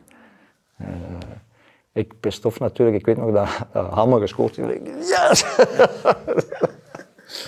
ja. Je lijkt me zo'n rustige man. Ja. Ik kan me niet snel voorstellen dat jij, dat jij eh, kwaad bent of, of gaat beginnen roepen en schellen en ruzie gaat zoeken. Ja, Geen tafelspringer toch Ik ben geen... eh, ik, ik, kan, ik kan niet op de bank zitten. Maar dan eerder een binnenvetter of, of zou je dan ook bij de coach gaan aankloppen en zeggen, hey, eh, meneer Goethals, eh, Ja, maar dat heeft op een bepaald moment... Weet je, of, ja, ja. Ik heb dat wel moeten leren. Hè. ja. Maar een paar keer heeft dat mij ook wel een paar keer apart gespeeld. dat is zo'n beetje ongeduldig. En, eh, Ja. Maar ik, ik, ja, ik heb daar nu nog altijd eh, moeite mee. Zo, eh, veel coaches, dat is zo de samenhang van de kern. Hè. En ook zo, zoals je nu vaak zo ziet, zo van... eh, de, de eerste kip speelt de competitie en, en de Europese matchen, maar de beker van België is voor de tweede. Ja. Also, dat je daar altijd aan denkt van, ja, maar die beker van België is toch superbelangrijk. Je bent dan toch zo'n beetje, Thibaut Courtois heeft dat ook, die mist geen match. Hè? Die- Ja. dat is bij de en ik vind dat eigenlijk ook wel ergens. Ja, die heeft dat ook. Hè. Zo van, die wil, die, ja. Maar ik heb altijd zoiets gehad van, ja, ik wil die, diegene die achter mij ook niet het, de kleinste millimeter kans geven Ja, om, om zich te bewijzen. Hè. Dat, ik, ik kan dat, als doelman is dat nog totaal anders als veldspeler. Hè? Ja. Dus dat is nog een totaal andere. Die moet inderdaad maar een keer een wereldmatch spelen. En er moet maar een keer een kronkel in het hoofd van die coach zijn die denkt van, ja, die de wilde, ik heb die toch een beetje gehad. We gaan toch die nieuwe zetten. Ja, misschien En ja. dat is zo, ja, ik snap dat Dat is wel. mij ook wel eens zo overkomen. Dat is ook het einde van mijn verhaal in, eh, in eh, Lissabon. Hè. Ja. Daar gaan we het straks nog wel over hebben. Het gaat Ja. nu over andere landen. Ik maak een brugje met Europees voetbal. Anderlecht speelt zijn laatste Europese finale in 90, eh, Europa Cup 2 tegen Sampdoria. Je hebt nog een Europese finale gespeeld met Anderlecht. Dat is voor ons vandaag quasi ondenkbaar. Hoe was dat toen? Was dat business as usual voor Anderlecht om een Europese finale te spelen? Of was dat toch ook redelijk speciaal? Het, is, het is speciaal, het bleef speciaal, maar het was wel iets dat in Anderlecht niet ongewoon was. Eh Europese finale spelen. Ah, We hadden onderweg eh, Barcelona uitgeschakeld. Hè. Wat misschien de grootste... Maar gaat dan ook nog zo echt de grote ploegen uit het Oostblok. Hè. Ik denk, mijn beste matchen speelde ik tegen, eh, in de halve finale tegen Dynamo Boekarest. Ja, die match ging er. We hadden thuis 1-0 gewonnen. Maar die match ging er dat eerste half uur. eh dan kun je je afvragen wat die gasten gegeten of gekregen hadden, maar die speelden ons van de mat. En dan heb ik daar in een schietkraam gestaan, maar hey, stand gehouden. En ik denk dat we dan ook 0-1 winnen, denk ik. Of 1-1 of 0-1. Ik denk, nou ja, dan eh, ons toch kwalificeren voor de finale. Maar hetgeen dat jij juist zegt van, eh, ja, Frankfurt krijgt 30.000 toeschouwers. Wij spelen finale in Göteborg. Ja. Niet zo'n groot stadion. 25.000 misschien of zoiets. Dat zat half vol. Allee. Half. Omdat voor de mensen was dat te ver en te duur om daar naartoe te reizen. En Dat is wel absurd, een Europese finale. ja, nou, wel, dat was zo ontgoochelend gespeeld. En ja, bekerwinnaars was dan ook zo een beetje het kleinere toernooi ook. eh, je had dan de landskampioenen natuurlijk. eh, en de UEFA Cup. Maar dat werd altijd nog wel als belangrijker aanzien dan eigenlijk de beker voor beker was zo de derde beker een beetje wat dan nu de Conference League is. eh. ja. Eh, maar we speelden wel finale tegen Sampdoria. Het grote Sampdoria met Mancini, spelers. eh, Mancini en Vialli, die scoren allebei. Ja. Ehm, maar ja, zo op een half stadion, ja, Ja, een half gevuld stadion. beleving is dat toch. Ja. Ja, ook de velden. eh. Dus het is, als je nu de ve- overal speelt op biljarts, hè. Ja, dat kun je niet, een patattenveld, dat vind je nergens niet meer. Hè. Allee, wij, ik vind dat wel in lagere afdelingen, maar, maar, maar zo op, ook zelfs waar, het, waar, waar, waar wat de clubs op trainen van tegenwoordig. Ah ja, dat- we hebben vroeger altijd op velden getraind, waar dat ze nu gewoon zeggen van oh, hier trainen wij en laten de niet. koeien op los. ja.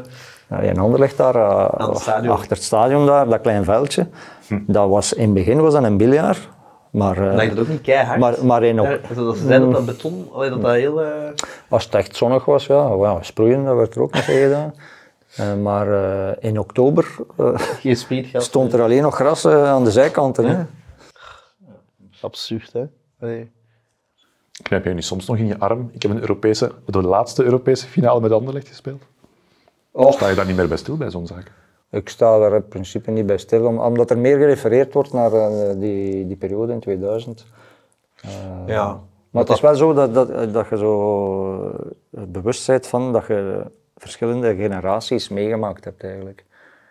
Dus ik ben zo begonnen met de generatie nog met wat zeg je, Van Tichelen, Goedjonsson, Krentjevic, als ik zo, eh, Hendrik Andersen, eh, Patrick Vervoort, eh, zo'n Niels, beetje. eh Niels kwam, toen zo net kijken, zo'n beetje. Eh, bank, Piri? Piri Jansen, ja. Ja, dat was zo de, de jongen. Ah, ja, Niels, Luc was toen, denk ik, ook pas 17, 18 of zo, toch nog vrij jong.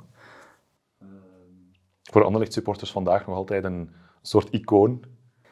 Luc ik Luc? zeggen. Ja, dat zal wel, ja. Dat is wel- Al zijn goals op die, dat is fenomenaal. Is dat een van de beste waar je ooit mee gespeeld hebt? Of zeg je, Dat is "Wow, de beste, denk beter?" ik, ja. De beste zelfs? Ja. Mooi. Ja, dat is de beste. Echt wel. Een mooi compliment. Ja. Ja, ja, ja, maar ja. God, ja, je hebt met Zetterberg gespeeld, met de Grijze, Ja. eh, Chifo. eh, met Chifo. Maar Chifo, pas op, Chifo was eh, mm, niet zo doelgericht natuurlijk. Hè. Dat is Ah, maar, Wel een wel, maar wel eh, oh, en ook eh, een, enorm, een enorme professional. Stoica? Eigenlijk weinig weten. Ja, Stoica, ja, Daar komen we straks nog dat is, op. Ja, ja, dat is toch omgekeerd. Hè? Ja, ja, ja. Maar Enzo was, hij, ja, hij was vier natuurlijk, maar eh, daar konden zo de buikspieren tellen en zo. Dat is ook een atleet, echt. hè. Dat was echt een atleet die kon lopen, want die kon echt goed lopen. Hè. Ook Misschien in, du- ook een echte duellen, versnelling. Ook in duel, hè. ja, ja, want, dat is- ja. want hij was niet super groot, Nee, nee, maar hij was wel ste dat, dat herinner ik me nog aan Schifo. Maar wel perfect links- en rechtsvoetig. eh, hij- enorm, enorme ja. goede trap. eh, ook goed met de kop. eh, hij- echt een complete voetbal. Het enige dat hij misschien niet had, was zo echt een, een versnelling. Ja, zo. het was altijd Zo, hetzelfde tempo, allemaal ja, een beetje ja. hetzelfde tempo. Ja. Maar... maar ja, we gaan Is hij wat zetten- miskend geweest? Is hij wat miskend geweest, Chivo? Niels trouwens ook. Daar wordt nu zo opgehangen. Mm, ja. Niels heeft nooit een gouden schoen gewonnen enzovoort. Ja, Hij is ook een beetje misnoegd vertrokken, zo blijkt ook uit zijn biografie, naar Nederland, naar PSV. ja. Waar dat spelers die in die tijd misschien iets te veel flair hadden om bij de doorsnee Vlaming geapprecieerd te worden? Of wordt dat ook wat groter gemaakt vandaag dan het eigenlijk was? Ja. Tja, je weet je, je moet het doen hè, op het moment dat het is. hè. Ja, je kan het ook altijd eh, bij externe factoren leggen, maar je kan, je kan het ook bij jezelf gaan zoeken. Hè. Eh, maar de omgeving, denk ik, bij PSV eh, Iets zal hem beter ja, iets gelegen hebben. familialer misschien. Ja, Ja, dat dat... eh, iets familialer ook. Het, ja, je hebt ook natuurlijk Ajax Feyenoord in Nederland, dus je had zo meer PSV is een beetje het kleinere Ja. broertje.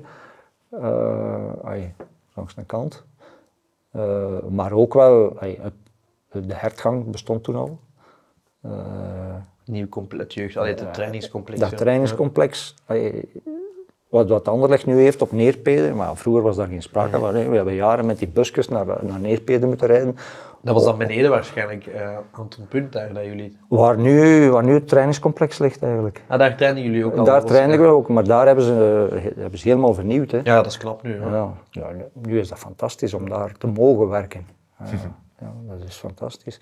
Maar eh, in die tijd was dat helemaal niet het geval. Maar in PSV had je dan al de, hertgang, dus die hadden daar echt een, eh, een, ook het professioneel gedeelte en het jeugdgedeelte en zo. Dus op dat vlak was PSV wel een professionelere club dan Anderlecht. Dat is gek eigenlijk, hè. Anderlecht is ook altijd een beetje, ah, vind ik zelf, onder druk van de, de resultaten van, van andere clubs ineens wakker geschoten. Dus ah, ze hebben zo de Ze hebben neiging nooit niet om, vooruit gedaan. Ja, ze hebben nooit... ja, ik snap wat je bedoelt. zo de neiging om in te dommelen, Ja. tot er iemand zo'n beetje kon porren. Eh, We hebben dat meegemaakt met KV Mechelen, hè, die ineens overvleugelde en dan ineens schieten ze wakker en dan, oh ja, we moeten hier iets beginnen doen. Hè. En, eh, ook en vaak- dan Standaard heeft dan ook zo twee keer met elkaar kampioen. Maar Standaard had dan Saar Tilman. En dat werd dan, ey, vond ik ook wel, ja, eh, kunt dat toch niet voorstellen, wij- wij- dat wij jaren in dat busken met, met die spelers naar Neerpede moesten rijden, met, met de conciërge die daar dan met dat busje moest rijden, die zat daar met kapitaal achter hem, daar mocht er nooit iets mee gebeuren. Ik heb ook nog met dat busje gereden met mijn voetbalschoenen aan. Hè. Maar, is absurd. ey, dat- dat- Keeper, je was keeper en je was ook buschauffeur. Ja. Eh, ja, maar dat was dan als coach, pijs ik. Dan, Ah, eh, ja. ja. maar Ja. dat ik bij mijn, mijn, mijn, mijn- mijn Copa Mondials in dat busje aan het rijden was, dan moet je niet voorstellen dat er iets gebeurt Ja. op dat moment. Maar ik snap wel wat je zegt. Dat Anderlecht, en dat is ook heel, een beetje mijn frustratie ook geweest. eh, Want ik heb ook een periode gehad dat ik ben afgehaakt of minder betrokken was met de club. Dat je daar zat en je had eigenlijk alles in handen om een voorsprong uit te bouwen. Of om, om, en dat er altijd maar zo op de lauwe gerust werd. En, Ja. En dat wat, wat Brugge nu doet, Brugge ontwikkelt zich wel door en pakt wel een voorsprong. Dat hebben wij nooit gedaan. Nee, ze hebben Dat eigenlijk eh, de jaren dat maar zo de kampioen en dan dat geld van de Champions League. Ja, de eerste Champions League hebben wij gespeeld. Hè. Ja. Eh, in der tijd zaten we in de groep, denk ik, met, met Rode Stel Belgrado zaten wij toen. Dat was toen nog echt de competitie voor winnaars van de Ja. competitie. Winnaars van de competitie, ja, ja, ja. Champions Ja, ja.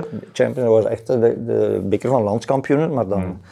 En dan moest je eerst twee voorrondes, hè, Sparta-Praag moesten wij passeren. Dat was ook nog niet met poelen, denk ik. Hè? Nee, was- je moest, eerst, rondes, hè? eerst voorrondes Ja. eh, passeren en dan op een bepaald moment dan had je nog eh, acht ploegen over. Ja, Ik denk dat Benfica er ook in zat bij in die, in die reeks, denk ik. zou wel kunnen. Hè. Ah, ja, dan had je nog, of, of Porto, zou Porto kunnen zijn. Eh, dan had je nog acht ploegen over, hè? dus je zat eigenlijk bij de laatste acht van Europa. Hè? Ah, ja.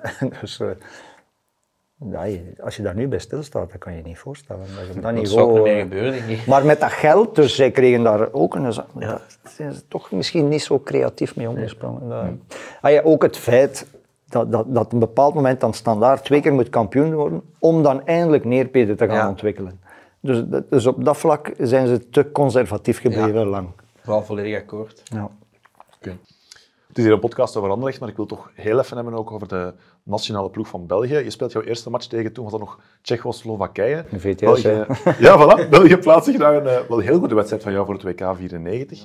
Jij staat dat, op dat WK dan niet in de ploeg, Michel Predom wel. Wij waren net iets te jong, denk ik, om dat goed te beseffen. Waarom was dat zo? Wa- waarom? Omdat Michel op dat moment eh, in de ogen van Paul van Imst natuurlijk eh, eh, outstanding was. Allee, ja, buiten categorie. Ja. Maar is dat dan Hij heeft dat ook bewezen eigenlijk. Hè. Dus speelt daar- een heel goed WK, Hij speelt een heel goed WK. Hij wordt daar verkozen als beste keeper van dat toernooi. Mhm. Dus eh, ja, daar kon ik alleen maar van dromen. Hè. Maar je spreekt daar over de wedstrijd tegen VTS.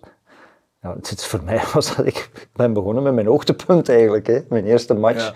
Eh, eerst zag het er totaal niet naar uit. Want er was zo echt een beetje paniek van oei oei oei, Michel kan niet spelen. Oei oei oei. Ja. ja. En eh, ja, ik denk, of, ik weet niet meer, twee of drie dagen voor, de- voor de wedstrijd was dan eigenlijk, uiteindelijk kwam het erop neer dat Michel niet kon spelen. En dan, eh, ja, voor mij was dat de match. Ja. Alles liep wonderwel voor mij. Hè. Dat was de perfecte match voor mij. Heb je dan ergens toch niet de hoop dat je op dat WK misschien... Ja, maar, daarna ook. hè, pas op, ja, en dan had je zo'n beetje de dualiteit dat tussen de Vlaamse en de Waalse pers. Ja. Dus, eh, Je zat dan wel weer op de bank. Je zei net, ik ben niet goed in bank zitten. Ja, hoe gaat dat dan? toernooi. Ja. Ja, hoe loopt dat dan? ja, ik ben de slechtste bankzitter van de wereld. Olivier de Schacht zegt dat ook van zichzelf. Ja, gewoon omdat, dat, weet je, dan hoop je die, die, dat die in de fout gaat. Allee, nee, je hoopt niet, maar Ergens wel. ja, Voor jou persoonlijk hoop je van. ja, ergens ja, zoiets van... Voor mij mag je dat zeggen hoor, ik vind Ja. daar ook niks mis mee. Er gaat, er gaat niemand meer van eh, Maar nu mag dat niet meer, hè. dat zeggen. Ja, pff. Maar ik, ik vind dat... maar pas op, ik ben altijd met een positieve ingesteldheid. Dus ik heb nooit ik heb nooit willen beïnvloeden. Je hebt nooit zijn eten vergiftigd of zo. Nee, Of maar, maar ook niet. verder weet en je, opwarming. daar was ook geen keepertrainer mee, bij wijze van spreken. Dus, dus je moest dan ook de andere keeper opwarmen. Ja. Maar dan kan je ook proberen van hem te saboteren. Hè. Je kan geen enkele bal tussen de palen shotten, hè. alles scheef shotten, wat weet ik veel. Maar ik Maar nee, altijd echt zo, hem zo goed mogelijk trachten voor te bereiden. Maar hem ook altijd laten voelen, hey, het zal wel wel. juist moeten zijn, want ik ben er. Hè. En ja, dat, dat, dat- dus op dat vlak ben ik geen goede. Maar is dat niet de regel als ze zeggen twee eerste keepers samen in een kern, dat dat eigenlijk geen goed allee, dat Ja, dat werkt niet goed, hè? Dat werkt niet goed, hè, want je hebt... Dat is anders dan... Allee, ja. voetbal, een, een rechtsback kan nog een keer rechtsmidden spelen, of kun je nog een keer centraal zetten, of, of kan ook zo wat... Een van blessure niet rapper... Het is wel veranderd natuurlijk. Hè. Vroeger had je een kern, allee, je had een kern van 16, 18 spelers. Nu heb je vaak van die topclubs die hebben kernen van, van 30, 35 spelers. Dus daar zitten vier keepers in. Eh, Die kunnen ook maar, er kan ook maar één van spelen. Hè. Dus het, is allemaal een beetje veranderd. eh, als je in de kern van Liverpool zit, dan zijt je misschien wel derde keeper, maar je, je, je verdient daar wel dik je boterham. Ja, dan En je al al niet nederige... Nee, allee. Ja. En dan het feit van daar te zijn, ja, dat, dat, dat zijt je al ergens uitverkoren. Hè, van daar eh, in die omgeving te mogen, te mogen werken. Hoe was jouw relatie met zo'n Prudhomme als je op een WK zit? Ik kan me voorstellen dat jullie niet per se de beste vrienden waren. Nee, we waren geen boezemvrienden. Maar ik zeg het, sowieso was ik wel afstandelijk met iedereen. Eh, Dan zijn het wel lange En- weken als je daar in Amerika zit. Ja, maar ik was vooral met mijn eigen bezig. Dat was zo, eh, ik, ik herinner me in Amerika dat wij, daar ging ik eh, s s'morgens, wij, wij trainen daar één keer per dag, omdat het ook heel warm was, maar wij gingen dan s'morgens zo, voor het ontbijt, gingen wij met, met vier of met, ik weet nog, met Borkelmans, en, eh, gingen wij eh, daar op dat parcours gingen wij gaan lopen. Zo een half uur of drie kwartier gingen we een keer goed lopen. Elke dag. En ik, ik heb daar elke dag getraind alsof dat ik ging spelen. Elke dag. Zo, ook elke dag mijn opwarming, zo met een beetje een heel... Ja, hoe zou ik zeggen, echt met een paardenbril op. ja. Niet zo... Oh ja, Ik speel toch kut. niet, dus ik laat het wel hangen. ja, zo wat kutbal spelen met de, met, Ah, met de- nee. met de mannen en dan eh, overdag wat in de zon liggen en eh, dan weet ik veel. Eh, ja, nee. Toont ook je professionalisme.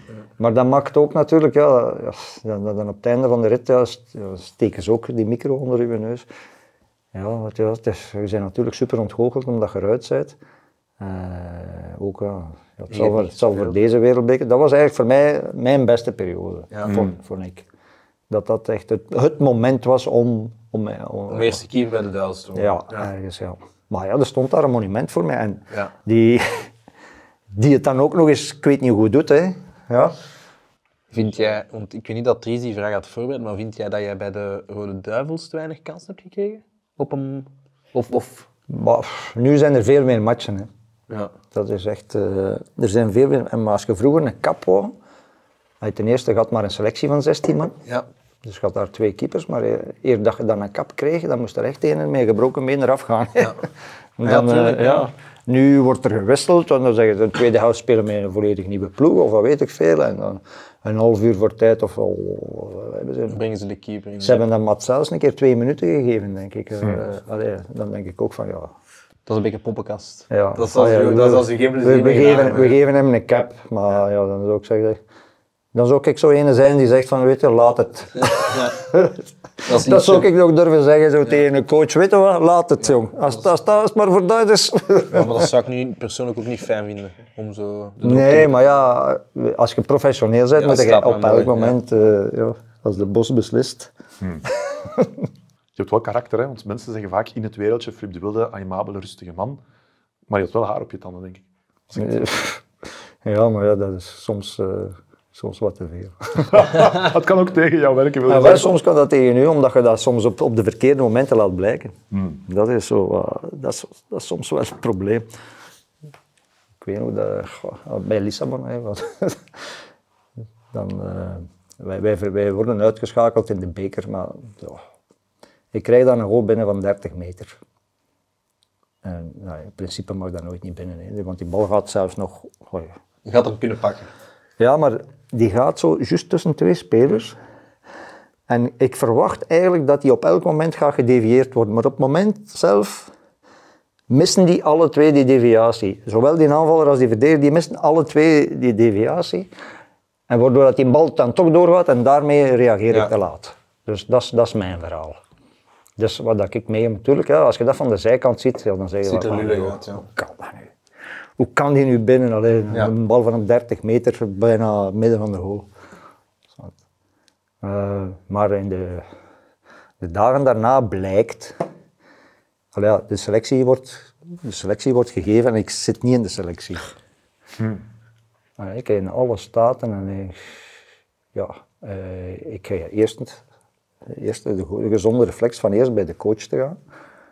Maar de coach zat al op de persconferentie. Eh, dus ja, dus ofwel moest ik wachten, maar ja, ik was zo, zo razend, dus ik rij, ik stap in mijn auto en ik rij naar huis. Ja, tuurlijk, tuurlijk krijg, onderweg krijg ik al telefoon van, van, van een of andere journalist. Oh. En dan doe ik natuurlijk direct mijn "Allee, dat, dat, ik snap dat niet, allee, ik maak één. Als, als het al een fout was, allee, is dat dan een reden voor mij eruit te zetten? Ja. Vol een dag. Misschien kant. wilden die gewoon een keer een afkoelingsperiode, misschien dat die een trainer ergens zoiets van, "Oh, weet je wat, hij heeft een nationale ploeg en dat, eh, we gaan hem een keer een week laten rusten. Misschien was dat zijn idee, maar, maar ik denk het niet. Hè. Ik had sowieso problemen, dat was al de vierde trainer dat jaar. hè. Ik had sowieso al eh, trainen met de keepertrainer, want in Portugal is dat niet zo van, de trainer gaat weg, er komt een ander, maar die andere mensen blijven. In Portugal is Altijd alles buiten. alles buiten, allemaal nieuwe. Tabula rasa. Ja. En daar kwam die keepertrainer en ik ben daar met een open mind naartoe eh, in het begin. Want ik had daarvoor een keepertrainer en die had oh, 30, 40, 50 caps voor, voor de nationale ploeg van Portugal. Dus dat was iemand met wie dat communiceren. En die vroeg aan mij, wat willen, wat willen dat me doen? ja. En eh, dan komt daar in één keer een en die zegt van, ah, we moeten in de kracht honken en we moeten dit en dat. Ik zeg, maar ik heb, ik heb dat nooit gedaan. Zeg, moet ik dat nu allemaal... Moest ik nu, ik zou daar allemaal veel, moest ik het nog kunnen herdoen, ik zou gewoon eh, Ja, in, het verhaal Ja, meegaan. ja. Ja. Ah ja, goed joh. En ik vermoed dat hij op een duur een, een steen gezocht heeft om, eh, Ja. en dan eh, Een zondebok. een zondebok, eh, ja, uiteindelijk ja, heeft hij er maar buiten gekregen. Dus, ja. Spijtig. Ah, dat was spijtig, ja, want ik was daar eigenlijk wel. eh, En je had dan tegen die journalist je hart gelucht en dat stond dan een dag daarna in die krant. Ah ja, tuurlijk, ja. Die mannen nieuws, die, die ruiken. die- Bloed, ja. ja. En, en dat heeft mijn, mijn verhaal natuurlijk niet geholpen. Waarschijnlijk niet, hè. We gaan terug maar het is ermee dat ik terug naar Anderlecht gekomen ben Oh, natuurlijk. kijk, we gaan, daar, we gaan daar zo meteen over denken. Ik ga een paar jaar terug in de tijd nog. We zitten, sorry dat we het erover gaan hebben, Ja. maar het is moeilijk om het niet te doen. In 93, die Champions League match tegen Werder Bremen, waar je 0-3 voor staat. Ah, ja. rust. Uiteindelijk verlies je die wedstrijd met 5-3. Een soort ja. onwaarschijnlijke match was dat. Ja. We hadden onlangs Frank Raas te gast hier in deze fijne studio. Ja. En die vertelde daar het volgende over. Dat is Boskamp zijn, eh, zijn groot trauma, hè, want hij was toen coach en kwam dan ook voor Hannibal Fijn, wat is het allemaal? Die wereldgoal inderdaad. Ja, dat, is, dat blijft wel een, een, een heel zwaar litteken bij Boskamp, dat weet ik. hè. Ja? Maar ja, natuurlijk. bedoel, Dat is nog een jaar na datum zou het kunnen dat die man denkt... Oh, Nou, ja, nee, er zijn erger dingen in zijn leven gebeurd ondertussen. Maar dat is als voetbalcoach was dat, allee, dan begint hem nog te wenen, denk ik. Hij is dan vooral boos op de wilden en zo. De wilden in Boskamp, dat ging nooit goed. Hè. Maar eh, ja, omdat de wilde was zo'n binnenvetter en stress. En die kwam, hij is 7 kilo afgevallen ooit, hè, de wilde van de stress. Oké. Dat van die 7 kilo, dat heb je daar straks Ja, al even dat verteld, Dus dat klopt effectief, want ik Ja. wou al aan jou vragen. 7 kilo, dat lijkt me wel veel, maar... Ja, maar ik heb echt veel afgevallen. oké. ik was niks meer, maar ik had geen, dan heb je geen kracht niet meer. Hè. Nee. Klopte dat van de Wilden en Boskamp waren niet de beste vrienden? We mo- Tegen Boskamp mogen we alles zeggen. Daar mogen alles tegen zeggen. Dat, dat moet ik hem nageven. Het is niet dat dat het grote licht is, maar je mocht daar alles tegen zeggen, die gaat dat niet tegen u gebruiken. Dus dat, dat moet ik hem nageven. Maar wij hadden zo twee kampen. Hè. We hadden ik met Michel de Wolf, vooral. Wij ons tweeën vooral. En dan had je zo het kamp Niels de Grijze, Albert, Albert. eh, ja, de gasten die zo graag ja, het, leven een beetje meer van de zonnige kant Ja. zo zagen. Zo. En wij zo meer pu- puur professioneel en dit en dat. En, en, en presteren voor hetgeen dat je, allee, heel serieus. En, en dat botste wel vaak met, met Boskamp. Van Boskamp dat is, een lepen, hè, want ja, die had dan een physical coach. Maar als, dan, als er dan geklaagd werd over er moet te veel, eh, te veel gelopen worden, dan zegt hij, ja, dat is waar.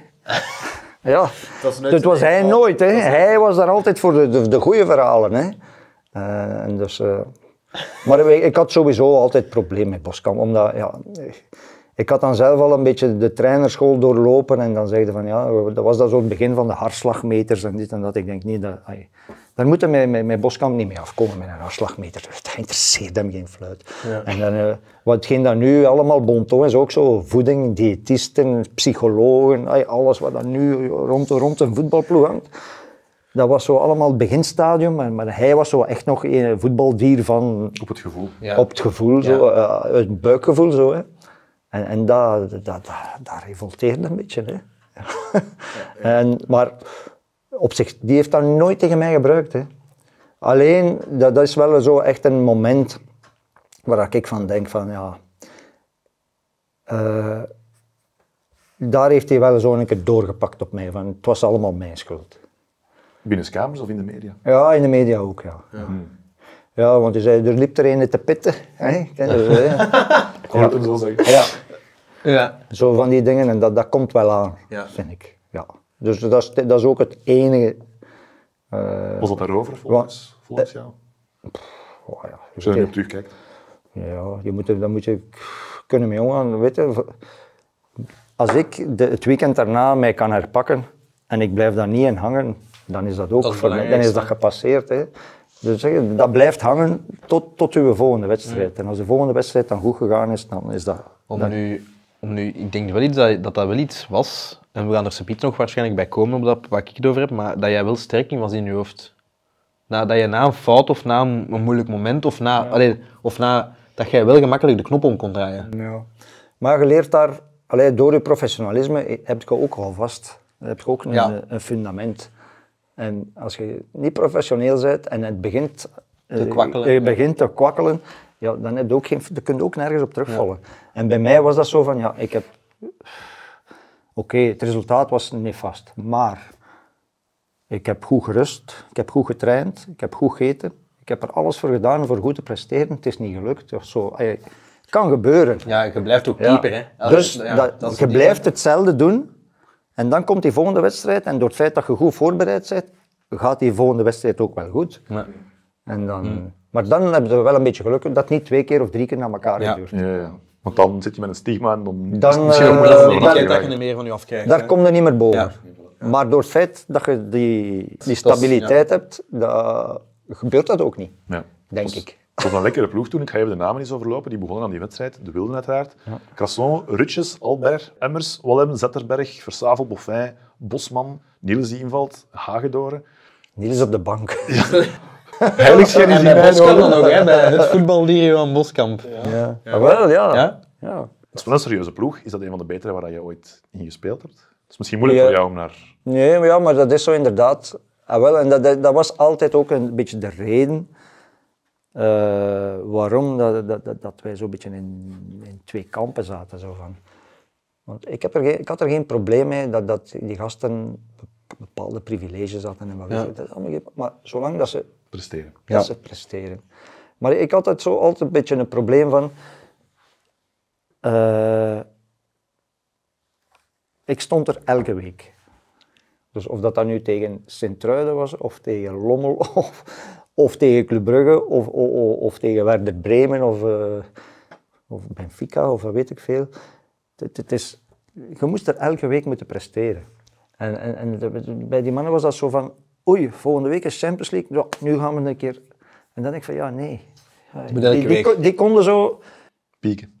ja, die probeerden te pieken. Maar ja, soms lukt dat niet, hè. Ja, een snipperdag. Dat Af en gaat- af en toe een snipperdag. Want een, eh, Ja, en dan zo speelde zo'n keer een matchje zo van, ja, en dan, dan zegt hij, hoe kan dat nu? Vorige week winde tegen de top van Europa en, en, en dan verliezen ze daar eh, in Lokeren of in dingen. Ik weet niet. ik denk een beetje een echte winnaar. Dat werd, jij, jij werd echt een winnaar dat elke week... Dat, allee, dat, Ja. En ik vind als je... Ik kan, dat, ik kan dat wel begrijpen. Ik heb dat ook wel. Als ik, als ik een, een, voetbalmatch speel, speel ik om te winnen. Ja, ja, ja. En niet, niet om, Alles, om, ja. tegen, om zo... En Als je dan een paar ziet eh, de kantjes eraf lopen, dat, Dat wringt. Dat ja. wringt. Ja. Ja. Maar ja, het is een teamsport. En Ja. Ik heb ook wel geleerd met een tijd dat niet iedereen zo even Ja. idioot kan zijn als jijzelf. Ik snap u, ik snap u Dat- allee, o- Of zo Maniacaal. maniacaal of hard-headed. Of, eh, Ja. En ik had dat ook nodig. En, en die, die gasten hebben...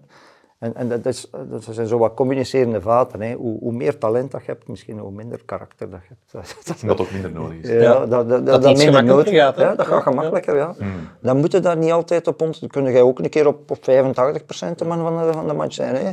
Dat- en en dat, dat, daar had ik altijd zo'n beetje moeite mee. Van, Dat die in, in kleinere matchen dan zo precies ook niet...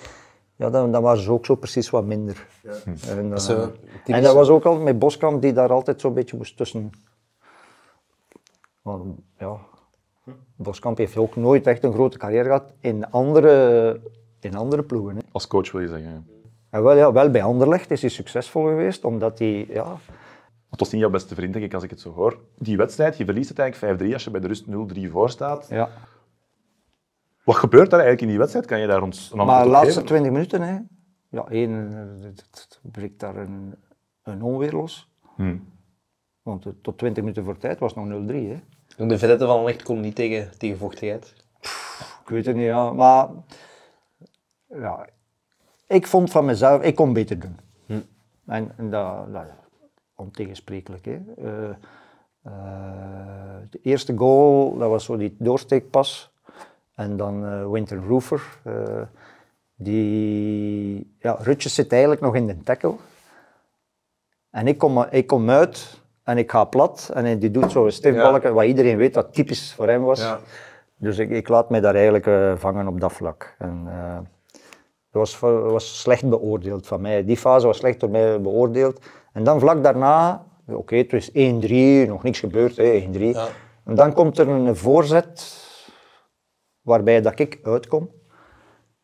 En ik zit, eh, en ik, er komt ene voor mij, eh, ik denk dat, eh, ja, die spits van Bremen. Ja. Zwart. Die kopt die voor mij binnen, gewoon midden van de goal. Dus als ik, als ik niet uitkom, Pak die dan nog. pak ik die waarschijnlijk. Ja. Dus, ja, maar, dus in plaats van ja, dat ineens, ja, Bremen begint er terug in te geloven. Ja. Hè. En van dat moment was het echt. eh, dan, Ben je fysiek overpowered in die laatste 20 minuten? ik denk het, ja. ja, ja. Fysiek overpowered. En dan, het is niet dat. Allee, ja, natuurlijk, ja, twee. Dat, dat, was de aanzet. Hè. Ja. Op dat moment was er geen vuiltje aan de lucht. Hè. En dan eh, door twee keer een uh, foute inschatting van mij. Uh, ja. En dan, ik zeg dat dan ook eerlijk, dat dat zo is. Mm. En dan krijg je natuurlijk, ja, oké, okay, het is zijn fout. Want ja, op dat moment gaat iedereen zeggen, oh ja, het ja, ja. is, het is zijn schuld. Ja, Ze hebben een zondebok gevonden om zichzelf vrij te pleiten. En misschien, ja, oh, ja, maar ja, kijk, zeg. Uh, het verandert niks aan de zaken. Hè. Het, is, het is gebeurd. En... Jort dan wel eens dat het bestuur van Anderlecht na die wedstrijd gedacht heeft, fysiek hadden we hier een probleem, we gaan meer beginnen inzetten op fysiek sterke spelers en misschien iets minder voorrang geven aan pure techniciëns. Is dat ook weer zoiets wat met de jaren heen groter geworden is, die anekdote? Is daar een vorm van waarheid in? Of dat zij daar uh, uit één wedstrijd die conclusie uittrekken. Ik denk dat je daar dag, dagelijks uh, uh, moet, bekijken. Mee, moet mee bezig zijn. Hè. Maar tja. Is dat een van de... Het wordt momenteel ook wel allemaal beter opgevolgd. Ja. Hè. Van tegen, ja, elke, je ziet elke wedstrijd lopen ze met, uh, met zo van die vestjes aan, met die GPS-trekkers. Uh. Dus je kan echt perfect nagaan hoeveel heeft die iemand gelopen, hoeveel heeft hij zelfs... Uh, high intensity runs. High intensity runs, ja. dat is natuurlijk dat is het, uh, hut van hut nu. Hè. Ja. En, en, dat kun je, en dat is ook op training. Hè. Dat is ook... dus, ja, op training kunnen ze dat ook allemaal. Dus ze hebben die parameters en als er daar iemand is die al uh, een aantal trainingen te weinig haalt, en dan kunnen ja. echt zeggen van, hé, hey, hier manneke. Ja. is dat bij Anderlecht een van uw diep uh, zwaarste momenten, Bremen? Mag ik dat zo zeggen? Of, of? Ja, tuurlijk. Ja. Ik vind het altijd moeilijk om te vragen. Hè? Want dat is precies zo van te keuteren voor, maar... Nee, ja, dat is gewoon zo. Ja. Dat ja. Is, ik ken de fases ook nog duidelijk heel goed. Het is jou nog niet ontgaan. Zoals je het net al omschreven uh, Nee, ja, dan, dan komt zo een bal die in de kluts valt, die, die dan van, van, van op vijf meter ja. Die valt en die, die, die, die, trapt die door mijn benen. ah, ik probeer dan zo wat mij breed te houden, maar ja, dat gaat door mijn. Voor Het ziet er lullig uit. Het ziet er lullig uit. Kun je eigenlijk niet veel aan doen als keeper. Kan ik er niks aan doen, ja. Daar zit ik ook niet mee. En dan Een bal de benen is altijd Die lullig. laatste is dan vier, er komen dan vier, drie achter. Dan de laatste keer is dan dat eh, eh, Mark Emmers speelt die bal naar mij terug. En ik wil die terug naar hem spelen, maar die wordt onderschept en die scoren dan de 5-3. Dus dat was eigenlijk drie van de vijf goals waar ik tussen zat. Ah ja. Dan slaap je niet goed, vermoed ik, de nacht erop. Nee, nee, nee, nee. Het is niet dat ik me er niet van bewust was. Dat we... Maar ja, je moet verder. Hè. Hmm. Dit weekend staat er weer een nieuwe match op. Neemt zo'n groep jou dat kwalijk? Merk je de dag erna van... hm, Eh, ik moet zeggen, dat valt, de groep zelf valt dat goed mee. Omdat die ook zien wat dat jij ervoor doet. En... Ja. Dat ook, hè. Dat helpt u dan ook op dat moment. Hè. Die, zeggen, die zien ook van, ja, hij heeft er alles voor gedaan. het eh. Het is niet dat hij, eh, dat hij nou het er voor de muur gedaan heeft. Hè. Allee, zeg maar. Allee, ja. Ja, en en ook gewoon wat jij... Wat ik me wel herinner aan Philippe de Wiel, dat je nog weet, je was wel een constante keeper. Ja. Die dat... Je haalde altijd een, een, een, een gewoon een goed niveau. Ik had een goed niveau. Ja, en, en, en je kon, je kon niet zeggen van er zijn super. Allee, hoe dat ik u. Er zijn geen duizend uitschieters, maar je wordt gewoon een degelijke goede keeper, punt.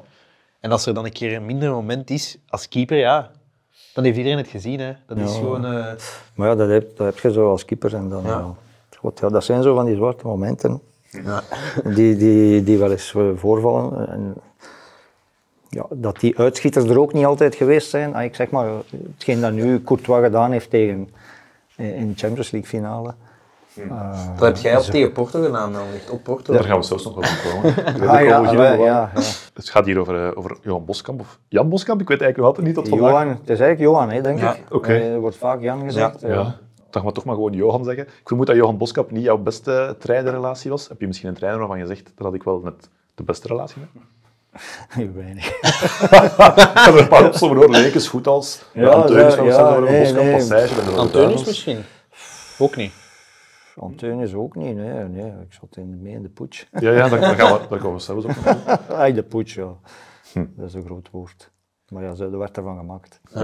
In 96 verlaat je Anderlecht, je hebt het daar juist al over gehad, voor, eh, voor eh, de Portugese topclub Sporting. Ehm, qua niveau in die tijd, probeer je dan een beetje te vergelijken, was dat een club op het niveau van Anderlecht? Was dat veel hoger? Eh, pff, ja, dat was vooral financieel. Dat is mooi. Ja, nee, maar eh, je, je zit al, ik zat op dat moment negen jaar bij Anderlecht. Was mijn, mijn- ik ging normaal gezien mijn tiende seizoen spelen. En ik had nog een jaarcontract en dat was zo net na Bosman. Dan maar de Grijze was al weg.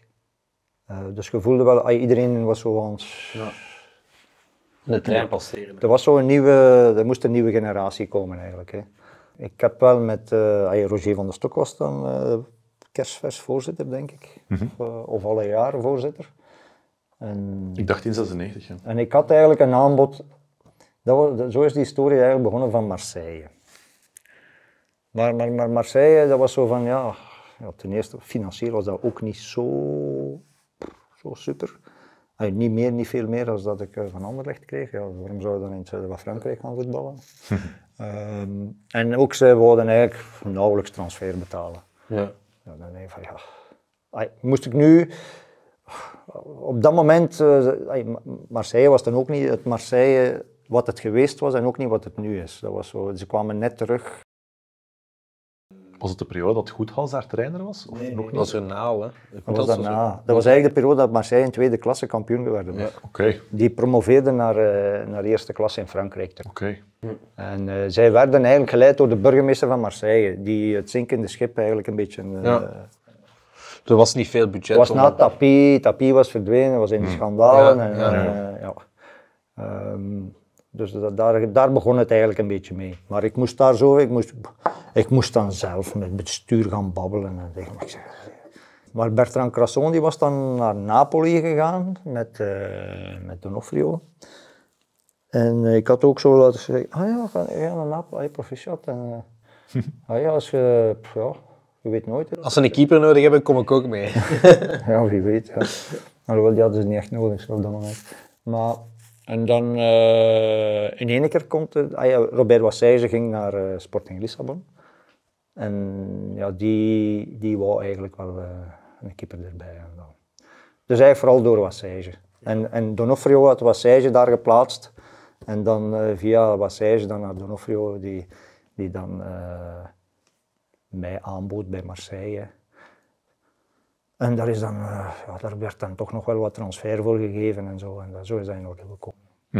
Je zei net het Bosman-arrest. Ik heb het gevoel dat Anderlecht daar wel een aantal jaren nodig van gehad heeft om daar door te geraken door die periode. Dus misschien ook daarmee dat je zelf dacht, ik ga dat zinkend schip verlaten voor het Ja, kapseist. een beetje wel, omdat ja, dat is zo. eh één, allee, financieel, allee, want je bent profvoetballer. Hè. En dan eh, als profvoetballer je op dat maar je kon er niet beter zijn in België dan bij Anderlecht. En als je daar weg wou, ja, dan moest je ergens naar. Ja, het is niet, Sporting Lissabon is geen grotere club dan Anderlecht. Is, maar- Ook qua niveau toen niet. eh, pff, ik denk, wat dat zo raar is, is die hebben wel zo een enorme kweekschool. Jeugd, jeugdopleiding. ja. jeugdopleiding. En als die, als die een transfer doen, dat gaat altijd over tientallen miljoenen. Uitgaand dan, hè. Uitgaand. De, de talenten die verkocht gaat worden. altijd over tientallen miljoenen. En, en Portugese voetballers zijn blijkbaar zo ge- ge- gegeerd op de markt. Ja, maar ook de- meer, de- meer dan Belgische De voetballers. stempel van, van de jeugdschool van Sporting is wel echt... eh, Ja, ja. Dat is echt, eh, blijkbaar, hè. ja. Ja. Het, ge- dat, is altijd, dat gaat altijd over zoveel geld. Wie waren daar toen de sterren bij Sporting? Want ik weet het niet. Ja, maar Sporting zat toen ook zo ergens in een transitie. Ze zaten ook in een moeilijke financiële... Ja. Eh, maar dat eerste seizoen hebben wij echt, we zijn zwak begonnen. Dat heeft ook uh, wat zijges in de kop gekost. Eh, maar dan daarna hebben wij een reeks neergezet dat we dus eigenlijk terug in, in, in competitie waren met Porto. Ja. Die op dat moment al vier keer na elkaar kampioen was in, in Portugal. En eh, wij kwamen eigenlijk tot, terug tot op twee punten op het moment dat we, dat we in Porto moeten spelen. En we spelen daar 1-1 gelijk. En dan daarna spelen wij thuis terug 0-0 of zoiets, waardoor dat Porto eh, dan kampioen was. En dan... eh, ja. en maar wat ook straf was, dus Wassage was buiten gevlogen en dan zijn assistent werd hoofdcoach, Octavio Machado. Wat het strafste van het verhaal is, eh, dus wij eindigen tweede dat jaar, wij kwalificeren ons voor En Champions League. smijt hem buiten. Het jaar daarna, nee nee, smijt hem niet, die stapt zelf op. Oh. Dus het jaar daarna spelen wij voorronde Champions League. Wij kwalificeren ons van de poelenfase Champions League. Wij winnen de eerste match thuis tegen Monaco voor Champions League. En wij moeten naar Leverkusen. En, en de week daarvoor zegt Ma- Octavio Machado, ik stop. Ja. En dat was dan een beetje voor u ook het begin van... van... Dat was het begin. Dan kwam er een andere trainer. Achter 14 dagen zei hij ook van ik stop. En dan kwam er nog een andere trainer. En dan was het... eh, Waren jullie Eh. zo'n moeilijke groep? Dat iedereen daar weer terug? Of? Mm, nee, ik denk vooral conflicten met, met bestuur of met de. ja, pas op, de verwachtingen zijn altijd heel hoog daar. Hè. En dat, dat, dat is eigenlijk met, dat is vergelijkbaar met Anderlecht. Dat- Dus je moet daar, ja, je moet daar Europees, je moet daar, eh, ja, je moet daar eigenlijk altijd winnen. Hè. ja. Het is hier een podcast over Anderlecht. Eh, We gaan terug naar Anderlecht hè? Ja, ik wou zeggen, de Rode Duivels, je, voelt al waar ik naartoe ga. Euro 2000 passeert. Mij- Wat mij betreft moeten we daar niet te lang bij stilstaan. Eh, je speelt er een toernooi. Dat, je hebt er goede, goede matchen gespeeld, ook tegen Italië, vond ik. Je hebt bijvoorbeeld een heel goede wedstrijd spelen. Eh of, wat veel mensen waarschijnlijk blijft plakken, is die laatste wedstrijd tegen Turkije. Ik persoonlijk heb niet heel veel goesting om daar nog over te ballen. Ik weet niet wat jij er over wilt stellen. Nee, wat ik, wat mag ik, daar vragen over stellen. wat ik mij... Ik heb het daar straks al gezegd van... Die Champions League campagne in Anderlecht is daar vlak na, hè. Ja. En dat vind ik wel heel straf, want je gaat daar eigenlijk... Ja, Dat is wel van... een, een van de moeilijkste periodes uit mijn carrière. Hè. Ja, ja, natuurlijk, want ja, je wordt daar wel...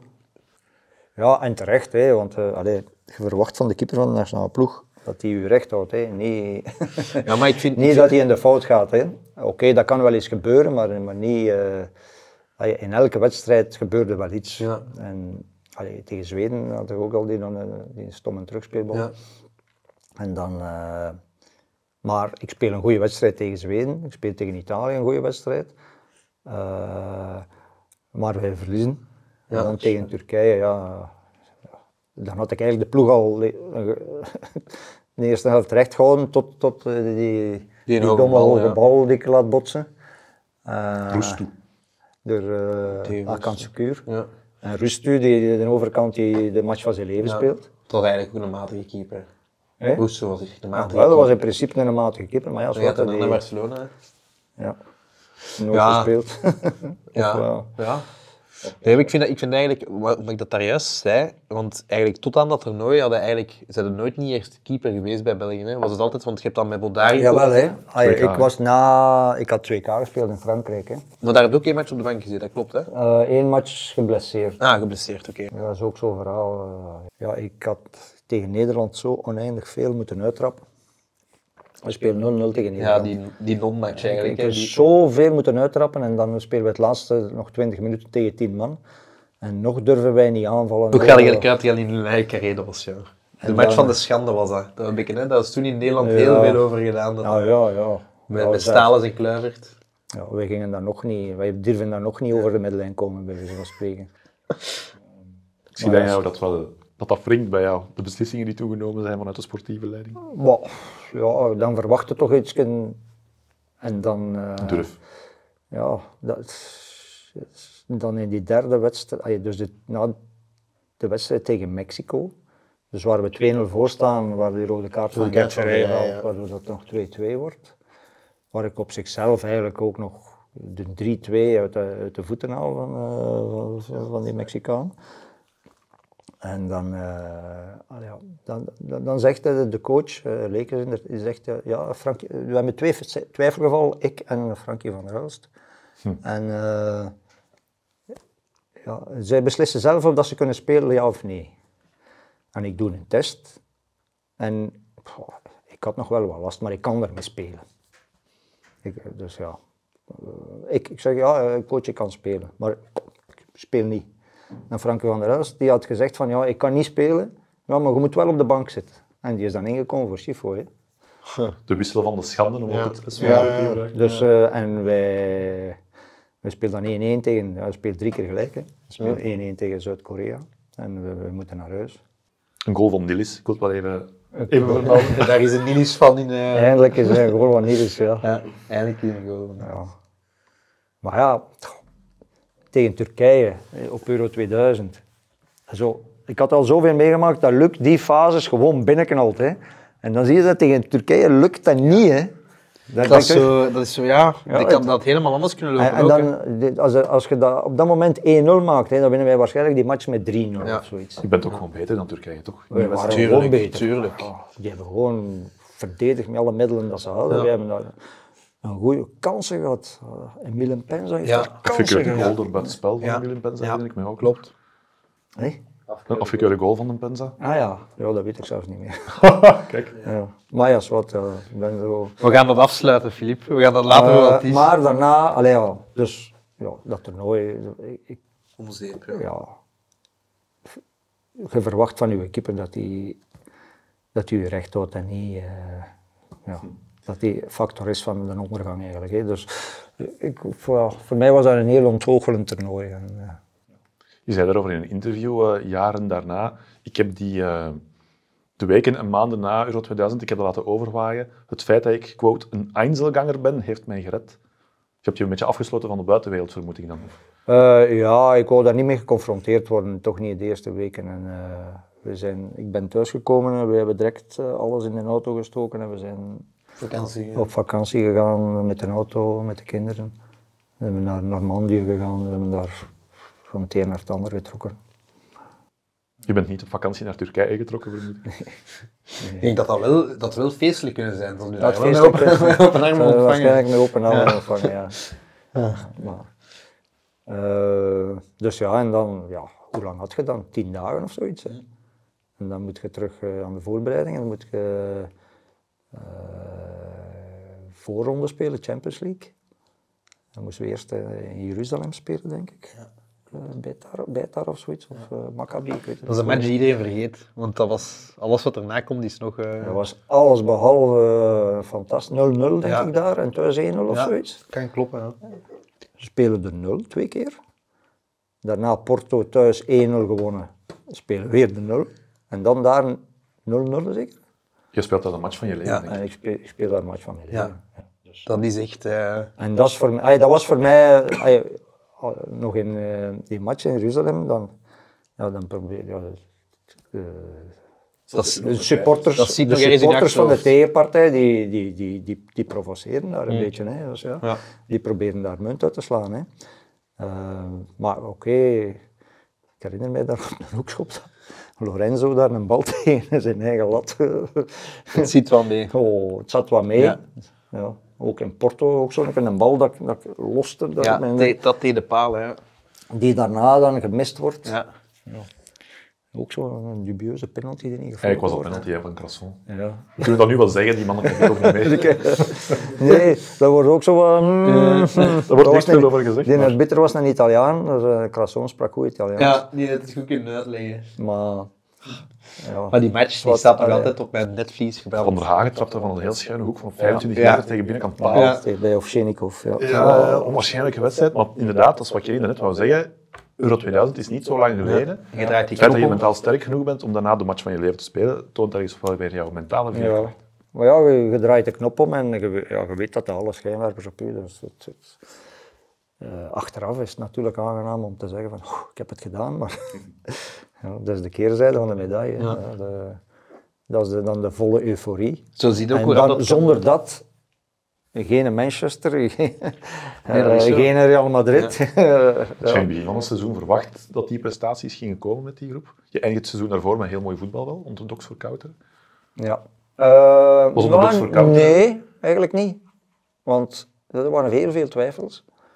Maar wat wij wel hadden, we hadden een enorme goede eh, teamgeest. Groep, ja. Eh, waar ook eh, Thomas Razinski voor heel veel tussen zat. Dat is echt eh, een sfeermaker. En, een, een, eh, en dan Jan Koller was er natuurlijk eh, daarbij. Eh, Stoica, Maar- wat ken je niet ja. juist over? Stoica, super sub meestal. Maar wel enorm veel karakter in die ploeg. Hè. Enorm. Ah, Echt, echt allemaal gasten die, die En veel Belgen, wat je daar straks ook zei. Is dat de tofste groep waarmee dat je hebt samengespeeld? eh, op gebied van mentaliteit wel. Ja. Ja. Dat jullie allemaal wel dezelfde... Ah, wel, allemaal gasten die niet zo top gewaardeerd werden, maar die wel dat gebruikt hebben. Ja. Ah, Ik zeg maar een eh, Ja, Bart Goor. is- Bart Goor, Yves van der Hagen, Yves, eh, toch een laadbleuer eigenlijk, hè, Yves van der Hagen. Bart, Stalens de Boek. Bart Goor, Stalens de Boek, eh, dan Crasson die dan teruggekomen was, die dan mee moest met de... Ja, want die gasten hadden zo... Nu, decrassage, als je die gasten moet vragen voor, voor 10 minuten te lopen, dat is precies dat je het einde van de wereld vraagt. Hè. En wij liepen een dag na de match, wij liepen drie kwartier.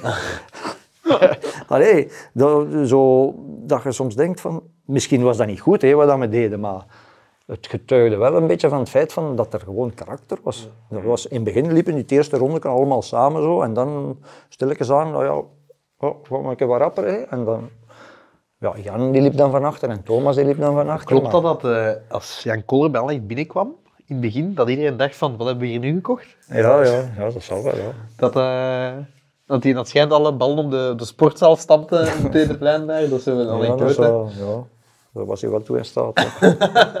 Dat zijn de 47 Ja. schoenen. Maar die speelde veel beter, zijn matchen waren veel beter dan zijn trainingen. Hè, ja. Ja. Ja. Maar Jan, ah ja, vooral het, grote katalysator eigenlijk is, was vooral Razinski. Met twee, dat knikte. Dat klikte ongelooflijk goed, die twee. hè. En, vooral Thomas was heel, die, die wist, ik heb die nodig om, om, om te accelereren. Eh, en die, maar die, die, die, dat was zo de sfeermaker, die, die bracht iedereen samen en die regelde zaken. En dan, die groep ging enorm goed aan elkaar. Ja. En dan voelde wel dat dat wel een extra, dat geeft wel iets extra. Die moeilijke momenten sleurde elkaar dan ook wat door, denk ik. Hè? Dat dat, je Ja, zo- waarschijnlijk. Ja. Ja. Niet dat je dat op dat moment weet, maar achteraf, eh, ja, als, je, als je kampioenschap wint, hè, dan win je niet op één match. dat, dat, dat is een gans jaar. Hè. Of als je zo'n campagne speelt, zoals die Champions League campagne, ja, dan, dan, dan moet je, je kunt je wel zeggen, je hebt stand gehouden tegen Manchester United. Want, eh, ik, ik herinner me dat het er, de Bartes van op 30 meter naar de goal geschoten Ja. heeft. ja. We hebben wel twee gewonnen, maar allee, De tweede helft was wel veel verdediging. Ja, dat is wel... eh, Maar je geeft er wel weinig weg in die tweede helft. Ja, we geven weinig weg, maar ja, we komen ook niet meer over de helft. hè. Maar Je pakt er trouwens nog bijna die penalty. Ik denk, was het Troy Keane die die penalty Ja. trapte? Die glijdt Nee, uit. was, nee, die eh, Irwin. Irwin was dat, ja. Die glijdt uit met Irwin. de trap, waardoor Die bal glijdt uit. hoger gaat. Dan... En die gaat over mij zo. Het Ja, scheelde niet veel, dat weet ik nog. ja dat weet ik wel. Maar die, die, die, glijdt weg en daarmee, die trapt eigenlijk, eigenlijk is dat niet reglementair. hè. Tuk, tuk. Die trapt, Die trapt op zijn andere voet, voet, ja, dat is juist. En zo gaat hij nog. Eigenlijk mag dat niet. Die twee contacten. Nee, Er was geen VAR, helaas. Hé? Er was geen VAR. Nee, dat was omdat, geen eh, VAR. Ja. Nu zouden ze dat misschien afkeuren. Ja. Dat is wat. Ik weet niet gewonnen, dat belangrijkste. Hoe... Want Leeds, tweede ronde, wist jij door een blessure. Hè? Ja, ja, ja. Dat wel spijtig. Dat had nog altijd wel heel anders kunnen uitdraaien. Hè? Nee, Dat denk ik wel, ja. Zvonko Milojevic speelde toen. Ehm, je hebt daarover gezegd, die was geniaal in de rol als tweede doelman, omdat hij jou het vertrouwen gaf en jou liet doen, basically. Ja, uh, nee, ai, een schitterende gast. Ja, echt waar. Maar, ja, dat was een echte tweede keeper. Hè. Die was blij dat je op de bank zat. Dat, je niet moest, dat hij niet moest spelen. Ja, want hij is nooit echt keeper geweest dan echt. Hè? Ja, we- Dan bij Lokeren. Hè. Ja. En ik ben eigenlijk naar Lokeren teruggegaan, eh, omdat hij geblesseerd was. ja. En dan een moment, eh, ik val dan uit mijn stressfractuur het, het volgende seizoen. En hij is dan terug fit en hij begint te spelen en hij speelt fantastisch. Ja. En dan heb ik tegen, voorzitter, tegen eh, Roger Lambrecht zeg ik van ja, ik zeg, ik ga alles doen om terug, zo snel mogelijk terug te komen. Ik zeg, maar laat hem alstublieft staan. Ja. Ik zeg, en pak mij ook niet mee op de bank. Ik zeg, ik heb, dat, ik heb het zo, ik heb het zo goed gehad. Zo, zeg, maar als je mij nodig hebt, ik zal er zijn. Ja. Maar Dat is mooi. Zeg, eh, dat zeert u? ja, dat zie je. Ja, Ja. De, de wilde van een aantal jaren daarvoor had, Had dat niet gedaan, van, nee. Eh, jawel, hè. Ja. Ah, nee, nee, nee. Ja, maar ja, dat kun je niet permitteren. Maar ja, ik was sowieso fan. Het was sowieso mijn laatste jaar. En dat speelde dan mee om te zeggen. En dan denk je van, ja, pff, wat heeft het nog voor zin voor elke week mee te gaan? Eh, allee, dan Griffin de Vroe was dan de, de, de, de reservekeeper. En als het dan echt nodig zou zijn, als Milo zich opnieuw zou blesseren of zo, kon ik nog altijd eventueel spelen. Ik heb dan nog één match met de reserve een keer gespeeld, zo, omdat ze... Ja, zou je toch niet een keer niet willen? Ik zeg, ja, dat is goed, ik zal meegaan. Over die Champions League campagne, heb je daar zelf een favoriete wedstrijd of een, of een fase misschien uit een van die matchen? Waar je zegt, dat was voor mij nu iets wat altijd bijgebleven is, meer dan andere fases? Maar wel vooral die, die match tegen Porto. Hè. Er is zo'n een, bal, eigenlijk in de thuismatch. Er, is zo, er speelde zo'n Braziliaan bij Porto. Chalmini, En die is- Ja, ik weet het niet meer. Een linkse bak, denk ik. En die trapt op de goal van op een meter of 25, zo echt. Ik weet nog zo, ik kan er zo juist met mijn vingertoppen nog aan, dat hij zo juist naast kan. Ja. Ik, dat hij dat hij juist in corner gaat. Dat zal nu bij Dat was- een wereldsteef geweest zijn. Ja, ik weet het niet, ja. Dat- maar dat is heel weinig. Ja, oké, dat was zo precies als normaal beschouwd. Terwijl dat ik van mijn eigen vond ik van, maar dat was echt een superbelangrijke bal. Vooral superbelangrijk. En ik weet nog dat, dat ik echt zo, dat ik daarna, oh, mee overstretched had bijna. Dat ik zei oh. Ja. Maar dat, dat is de bal waardoor dat we 1-0 winnen. En ja, dat is wel, dat is wel dat het verschil. gebleven. Dat, dat we dat- want als daar 1-1 is, liggen we eruit. Hè. Ja. Dus dat is, zo, dat is zo'n fase. Ik vind dat heel fascinerend, eh, hoe doelmannen... ehm, mijn beste vriend, is, een van mijn beste is ook doelman. Eh, en die eh, ik kan ook zo een bepaalde bal zeggen. Ja. En wij allemaal zoiets hebben van, ah ja, dat zag er normaal uit als Ah, ja. veldspeler.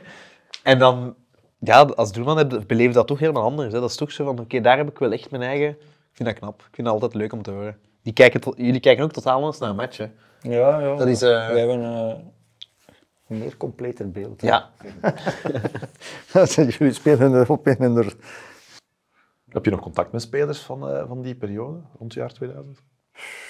Ik zeg het wel, vooral Yves van der Hagen zo. Hmm. Die kom ik meestal wel een keer tegen. Lorenzo met momenten. Nog een keer Glenn soms is, Glenn de Boek. Voor veel spelers ja. is dat wel een soort piekmoment geweest in hun carrière. Het zou kunnen dat er regelmatig een soort reunie plaatsvindt. Er is, er is zo'n keer een reunie geweest. Hè. Eh, ik denk, Jan kon toen niet zijn, Jan Koller kon er dan niet zijn. Maar, eh, maar wel met ja, Didier Deende en met uh, Crasson eh, en Glenn en Lorenzo en, en Thomas en Bart en Yves. Kijk je dan beelden terug van toen? Of? Ik denk dat ze zo een soort van dingen lieten, een beetje lieten ro- doorlopen, maar daar ja, kijk je zo met, een beetje met een scheef oog naartoe, een beetje zo. Ah ja, daar. Maar. Want vooral dat gezelligste, ah, dat, dat reuniegevoel is wel plezant. Ja, dat is wel plezant zo om elkaar nog eens terug te zien. Dus, Wat mij opvalt als ik die beelden terugkijk, specifiek van doelmannen, de uittrappen toen waren compleet anders dan vandaag. Vandaag is het allemaal op zijn Braziliaans quote. Toen was dat echt een hoge bal die, die halflings over het veld loopt. Jij, jij trapte ook zo in, in ja, ik, eh, heel, heel, heel atypisch, Ja? heel, heel verkeerd. Hoe is dat gekomen dat je op die manier... Ik weet dat niet. Ja, maar je moest die bal laag houden. Hè. Maar, Ja, jij maar, had die, normaal, eh, normaal pak je Ja, eh, je tegenover, maar ik deed het eigenlijk met dezelfde hand. Dus eigenlijk, zo. Ja. eigenlijk niet, ik, ik duwde die bal zo naar beneden, dat hij voor mijn rechtervoet Ja. Zo. Maar eigenlijk eh, is dat motorisch niet echt oké. ja, dat herinner ik me ook nog. Ja. Maar zo, ja. Maar ja, het is ook een, nu wordt er altijd, vroeger als een bal, als een doeltrap, werd toch vies, iedereen Vooruit en lang. Iedereen ja. vooruit en een lange bal en tweede bal en dan beginnen we terug te voetballen. Terwijl dat nu echt wordt, wordt benadrukt van, als het mogelijk is. Ja, hoeveel trappen nog uit nu? Allee, dat is... Dat is En ook zo, ze leggen vaak de bal neer voor dan, Ja, dat ze dan ook gerichter kunnen trappen, denk ik. ja.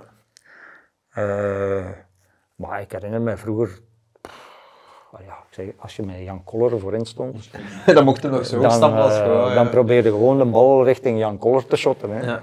En dan die devieerde dan en Razinski stond dan klaar voor te vertrekken. Eh, heel maar grappig. het is een ander soort voetbal. Hè. Ja. Het was heel grappig dan echt dat de jaar daarna nog eens proberen na te doen. Zo, hè. Die Koloradzinski, dat was zo toen, we moeten een lange kopen en dan daarna... Ah ja. Je had zo Clayton Zeen en zo gehad, ik weet dat jij die nog hebt meegemaakt. Ja, ja, heb ik nog meegemaakt. Ja, jij nog, eh, En dan O.D. Thompson en, en. O.D. Of was dat Thompson. net naar u? Of was Ja, dat, nu, nee, dat uw laatste jaar geweest Ja, dat is dat laatste, ja. Ja, Eerst met, met Antunes, dan met Hugo Broos. ja. Was jouw contact met mee? Je zei daar juist, de putsch. Was dat Ja, effectief zo? Dat was misschien ook groter gemaakt in de media dan het eigenlijk was. Ja, ja nee, het, was, wel, was wel echt. Hè, want ik, ik, ik was daar eigenlijk helemaal niet, eh, ik met Glenn vooral. Ehm, maar we- er was zo heel veel gezaag in de kleedkamer, constant over. En de trainingen zijn niet goed en dat is, en we moeten altijd neerpeden. Bij Altijd, spelers onderling bedoel je? Ja, spelers onderling. Eh, dus, en wij speelden echt een wrakke partij. Eh, waar ook zo'n beetje onbegrijpelijke beslissingen genomen werden van op de bank. En, dat we- Weet je nog welke dat kan toch zo. Ik denk thuis tegen Alst. Ja. Ik denk dat we thuis 5-2 winnen, maar ik denk... Allee, hadden we 0-4 verloren, had, het, had iedereen dat normaal gevonden. Maar door omstandigheden winnen we toch nog. eh, eh, maar het is niet omdat je gewonnen hebt dat je niet voor de pijnpunten mocht drukken. En dat vond ik op dat moment wel, een, ah ja, en Glenn ook, eh, op dat moment vonden we dat wel een beetje Storend. storend, ja. Zo van, eh, allee, het, is, het is niet omdat we gewonnen hebben dat ineens alles goed is. Hè. Je moet wel allee, je moet proberen verbeteren. Hè.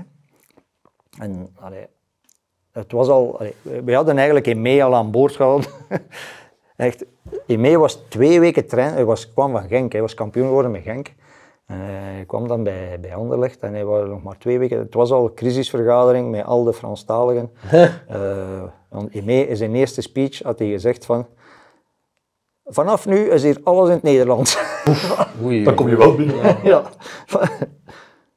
Ik ga hier niet alles in, in twee talen zeggen. Vanaf nu is het allemaal in het Nederlands. En pour les Flamands, la même chose. en het was gedaan. Eh, dus na twee weken was het al een crisisvergadering.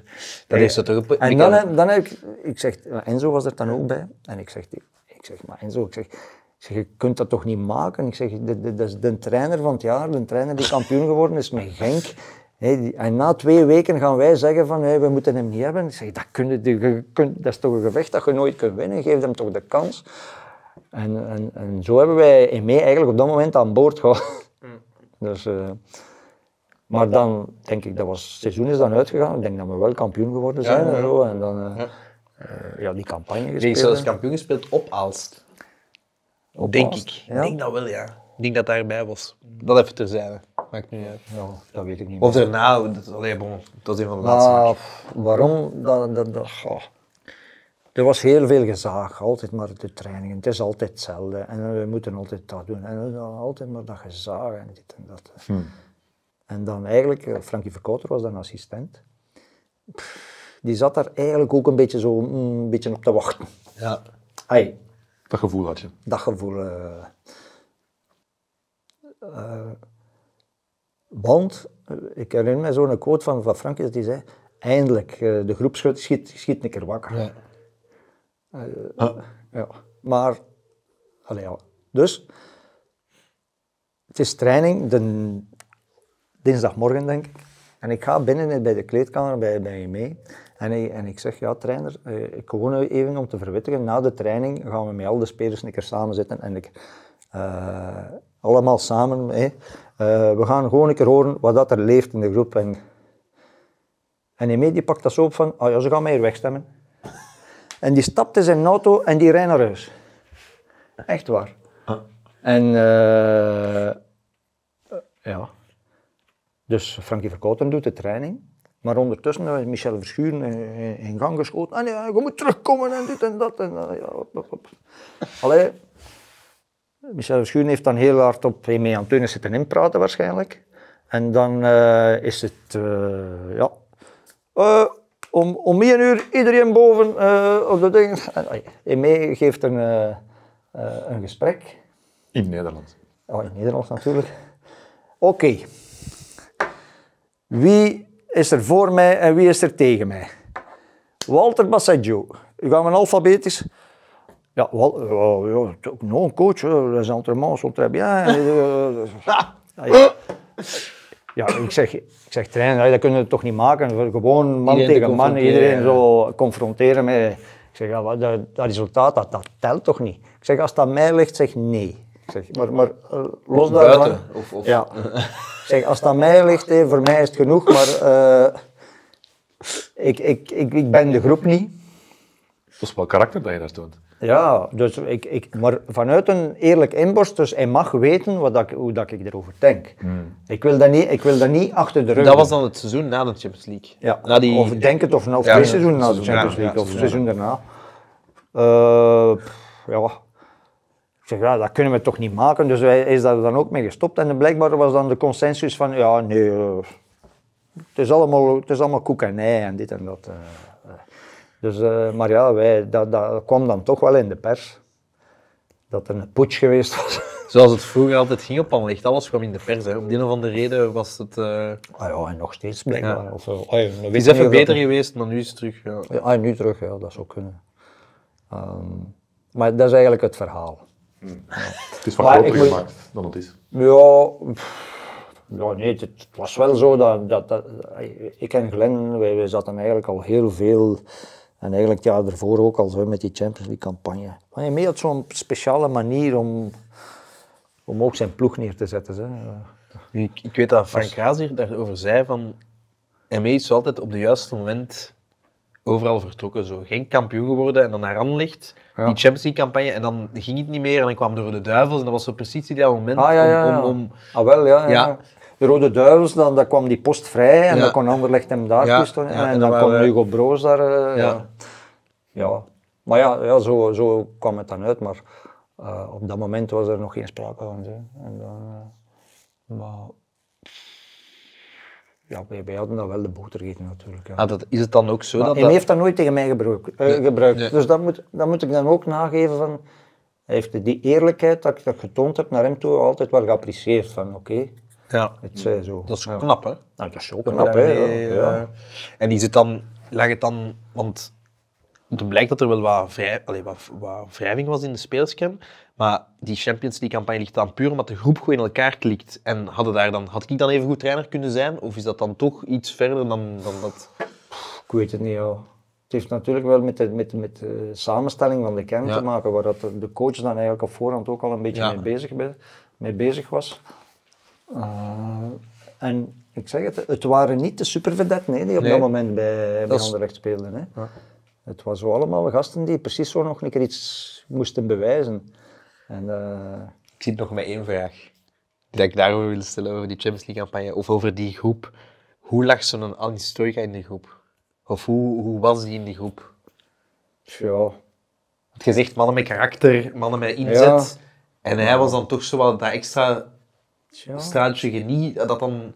ja. Maar ja, heeft het dan ook, zijn carrière heeft ook niet lang geduurd. Hè. Nee, maar Ja, hij heeft er dan dus, van eh, geprofiteerd van dat blok dat er stond? Of, of... nee, ook wel, ja. Er, er, er moest altijd iemand zijn die voor hem wil lopen. Hè. Ja. Ja. En dan, het, dus als je hem zette, dat ging altijd ten koste van het genie op bepaalde momenten, maar, maar ook, eh, ja, eh, maar ook het feit dat, dat ik herinner me, dat is ook zo'n beeld, dat wij, wij moesten dan het jaar dat geen kampioen wordt, dan wij 2-5 gaan winnen. Ja, ja, ja. Wat fantastisch. En 0-6 op standaard. En Vergeet dat ik is- nooit. Ja, Dat dus is- wij, dat was ook het jaar dat we na vijf matchen de Ja, laatste ja. stonden. Hè. Klopt. Hè, maar dan, eh, wij winnen 2-5. Maar ik weet nog dat, dat ik roep, Alin, let op in je rug. Hè, dat ik roep. Hè. En die doet zo. En die bal die komt inderdaad in zijn rug. En dan eh, Glenn doet een tackle, eh, penalty, allee, boom, 5-2. En dan was ik duivels kwaad. Want ik had de, vijf, ma- de matchen daarvoor, vijf matchen, geen goal tegengekregen. Ja, dus klopt. vijf keer Ja, naar ja, ja. elkaar clean sheet. En dan heb je daar zo een van, oh ja, we staan 5-0 voor. Of, het was, Ja. of het was 4-0 of Ja. zo. Eh, en dan... Dus op dat vlak, eh, ja, Jouw professionalisme botst dan wel eens met de laksere houding van... voilà. En, en eh, dat doet pijn, hè, als je iemand ziet met zoveel talent, met zoveel aangeboren talent, die, die kleine, dat klein beetje moeite niet kan doen. Frank Raas vertelde hier eh, een Ja. maand geleden dat hij in zijn periode bij Brugge de dag van de match smiddags nog op restaurant zat, een wijntje dronk en een biefstuk friet aan het eten was. En niet één Ja, keer, en- dat, dat, ja. dat dat wel vaker is voorgekomen. En toen een journalist uitnodigde voor mee te komen... Wie? Eh, Stoica, Stoica. ja, ja. ja. Je schrikt er niet van, als ik het hoor. Ik schrik daar niet van. Oh ja, ik vind dat wel raar dat het, dat het bij Club Brugge dan... eh, Ja.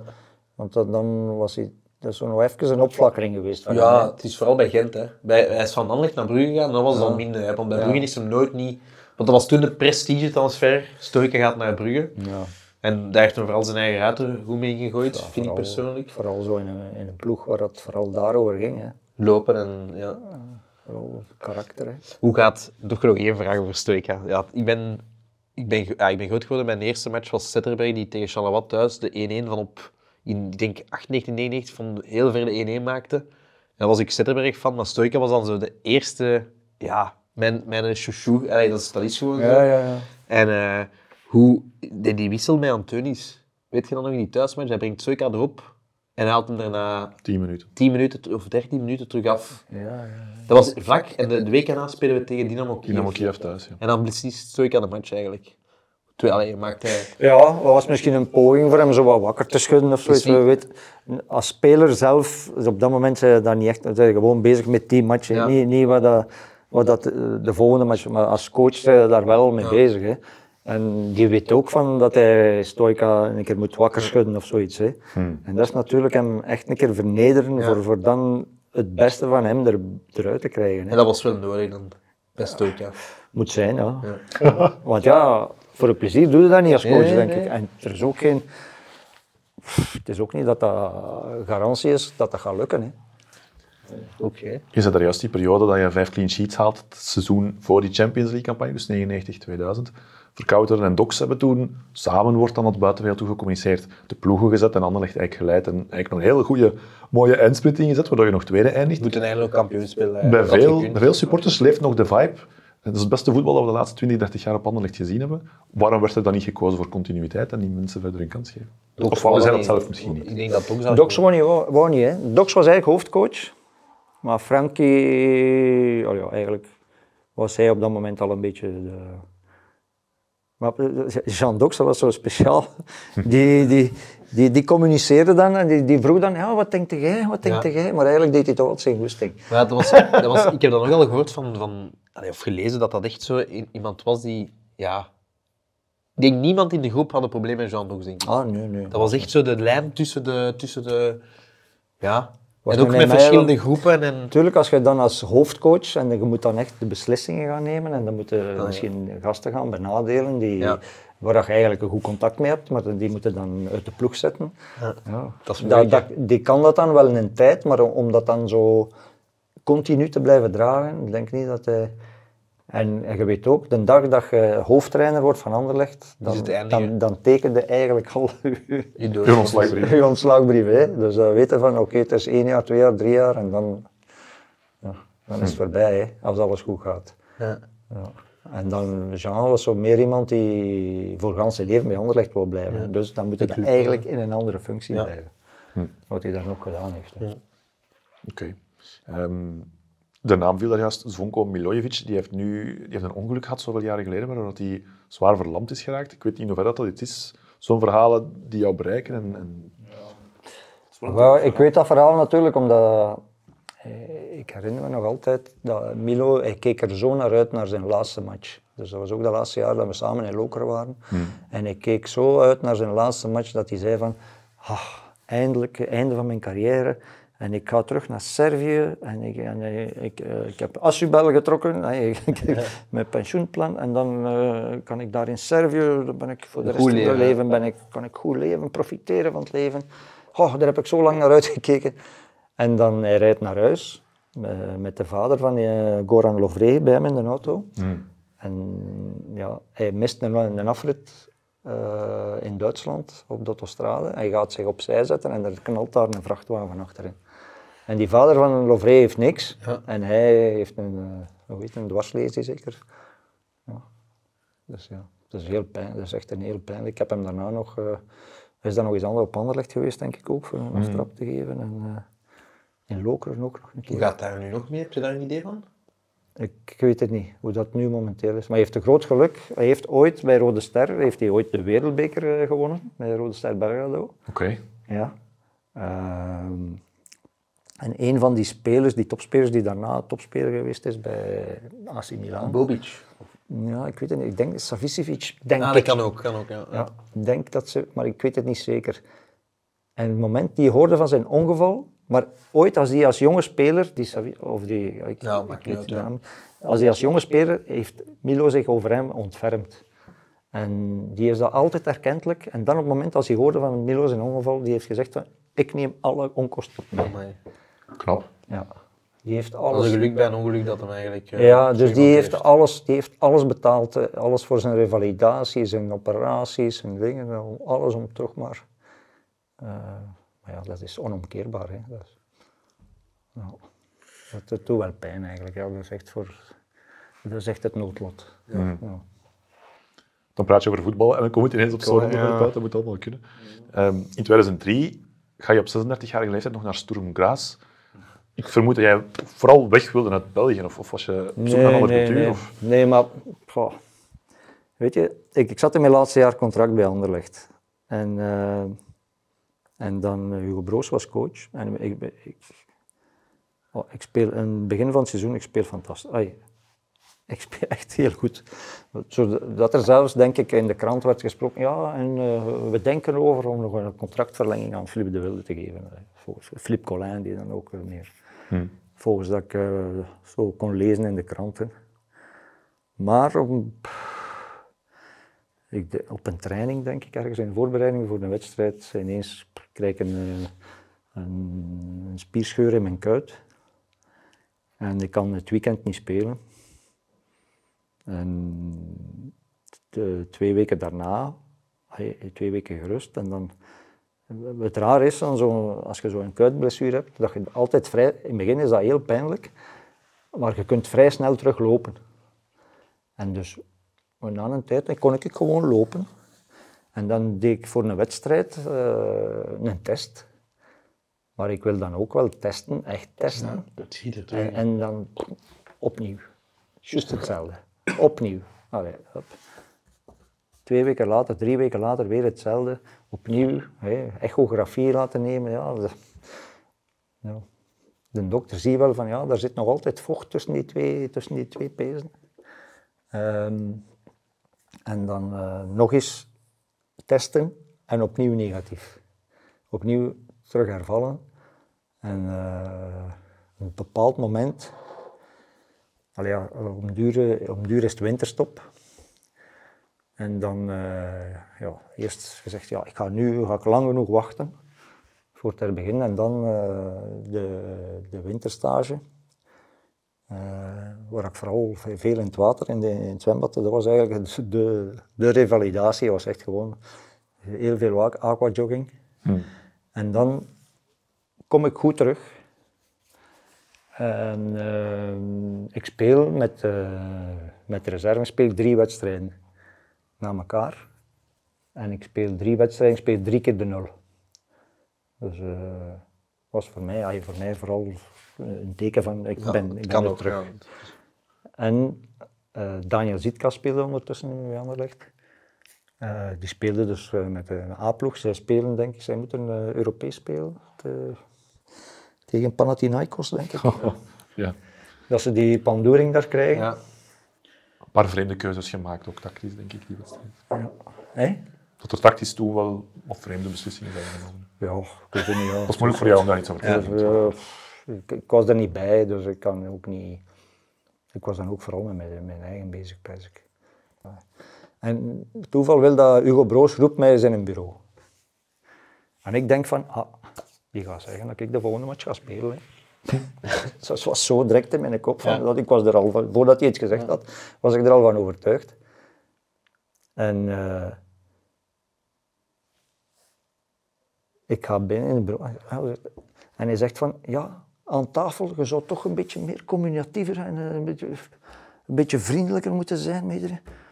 Ik zeg, coach, denkt u nu echt dat ik hier zit op te wachten? voor, voor, voor zoiets dat je tegen mij gaat zeggen. En ik storm die bureau en ik sla die deur toe. Einde verhaal. Eh, ja, los daarvan, allee, ik, ik ga naar de kleedkamer. Ik zeg, goh, wat heb ik nu weer gedaan? Ik zeg, ik, zeg, ik had terug naar, ik zeg, coach, zeg, ik ga terug naar de ding. Ik zeg, ik nog even? Ja. Eh, ik zeg, ja coach, zeg, spijt me, maar denkt u nu echt dat, dat ik daar zit op te wachten? Dat het feit dat jij tegen mij zegt dat ik een beetje vriendelijker aan tafel moet zijn? Ik zeg, pak mij dat gewoon niet mee, hè. Ja, ik zeg, maar, maar dat, ja, maar je denkt toch niet dat je nog terug gaat spelen? Maar ik zeg, ja, natuurlijk. Ik, zeg, ik ben fit. Ik, zeg, ik heb drie keer, eh, drie keer de nul gespeeld, dus voor, ik ben, ben, ben klaar om te spelen. Ah, nee, nee, maar ze hebben gezegd van het bestuur dat het gedaan is. Ja. Ah ja. Ah, ja, dat was dan... Dat komt er Slag. binnen. Ja. ja, dat was voor mij van, oei, ah ja? Ik zeg, ja, maar dat moet je mij ook niet meer meepakken. Ik zeg, pak maar een andere mee. En dan was het voor mij zo van, nou, dit, dit is het einde verhaal. Ik weet nog zo, de laatste match van An- de laatste thuismatch, dat werd zo, iedereen werd zo wat gehuldigd, zo nog wat. eh, en voor de match, ik dacht, Milo was daar ook bij, maar dan, eh, dan vond ik ergens zo van, ja, ik, ik zou toch iets meer verdienen dan alleen maar gehuldigd worden met iedereen die hier gaat vertrekken. Dat vond ik dan. Dat is niet Eh, gebeurd. dus ik kreeg dan eh, voor de match met, met Milo en ook nog een aantal anderen, denk ik, kreeg ik zo een aandenken met, met, met, met Roger van der Stok, die dat dan afgaf. En ik weet nog, ik heb dat aangepakt. Ik ben in mijn auto gestapt, ben naar huis gegaan, ik heb niet meer naar de match gekeken. Maar naar het schijnt is er na de match het publiek nog met een naam beginnen scanderen, schijnt. Ja. Maar ja, ik was Dat niet. klopt, ik was daarbij, dat klopt. Ja, ik was daar niet. Ik was naar huis. Ja. Dus, dus ik wil maar zeggen, een afscheid soms... in mineur, ja. Ja, ah, wel, eigenlijk was dat een afscheid in mineur. Ja. Dus eigenlijk in mijn kop op dat moment had ik zoiets van, oh, ik stop met voetbal. Ja. Maar dan, achter, eh, achter een week of twee, dacht ik zo van, oh, ja, ik ga toch nog wel. Misschien, Het kriebelt nog. ja, ja, misschien kan het nog wel, ja. Ik was dan 38 zeker of zoiets. En dan op een bepaald moment ineens belt Didier Frenet, die belt mij. Die zegt, ja, ik heb in Oostenrijk één of twee ploegen voor jou, eh, zou dat je interesseren? Ik zeg, ja, Oostenrijk, ja. En dan, eh, Hoe komen die bij jou terecht? ah, ik weet, ja, gewoon door die, die Makelaars, Frenet. ja, Ja, makelaar. ja, dat is gewoon een makelaarsverhaal. Die, zeggen, die worden geconfronteerd met het feit, ja, we hebben nog een keeper van doen. En dan weet jij iets en eh, dat is, ah ja, daar in Anderlecht. Zo iemand die direct inzetbaar is met ervaring, kent dat. ja. En dan, eh, ik zeg, ja, die idee, daar moet ik toch even over nadenken, moet dan ik het bespreken met mijn vrouw. Mijn vrouw zegt, ja, wil je nog spelen? Plus ook, ja, je weet dat, als je niet meer voetbalt, is het allemaal in één keer veel minder. Hè? Ja. Ja. En dan, eh, ik denk dat ik voor de helft van hetgeen dat ik bij Anderlecht verdien, dat, dat ik dan naar Sturm Graz gegaan ben. Ehm, en dat was gewoon... Ik kwam daartoe, direct vertrekken op stage, een week op stage en de week daarna begon de competitie. Oké.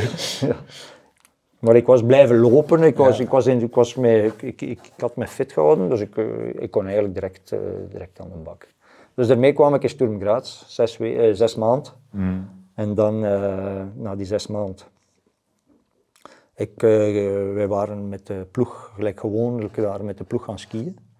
Eh, de laatste week voor, eh, voor kerstmis of zoiets. Want de windstop begint daar vroeger.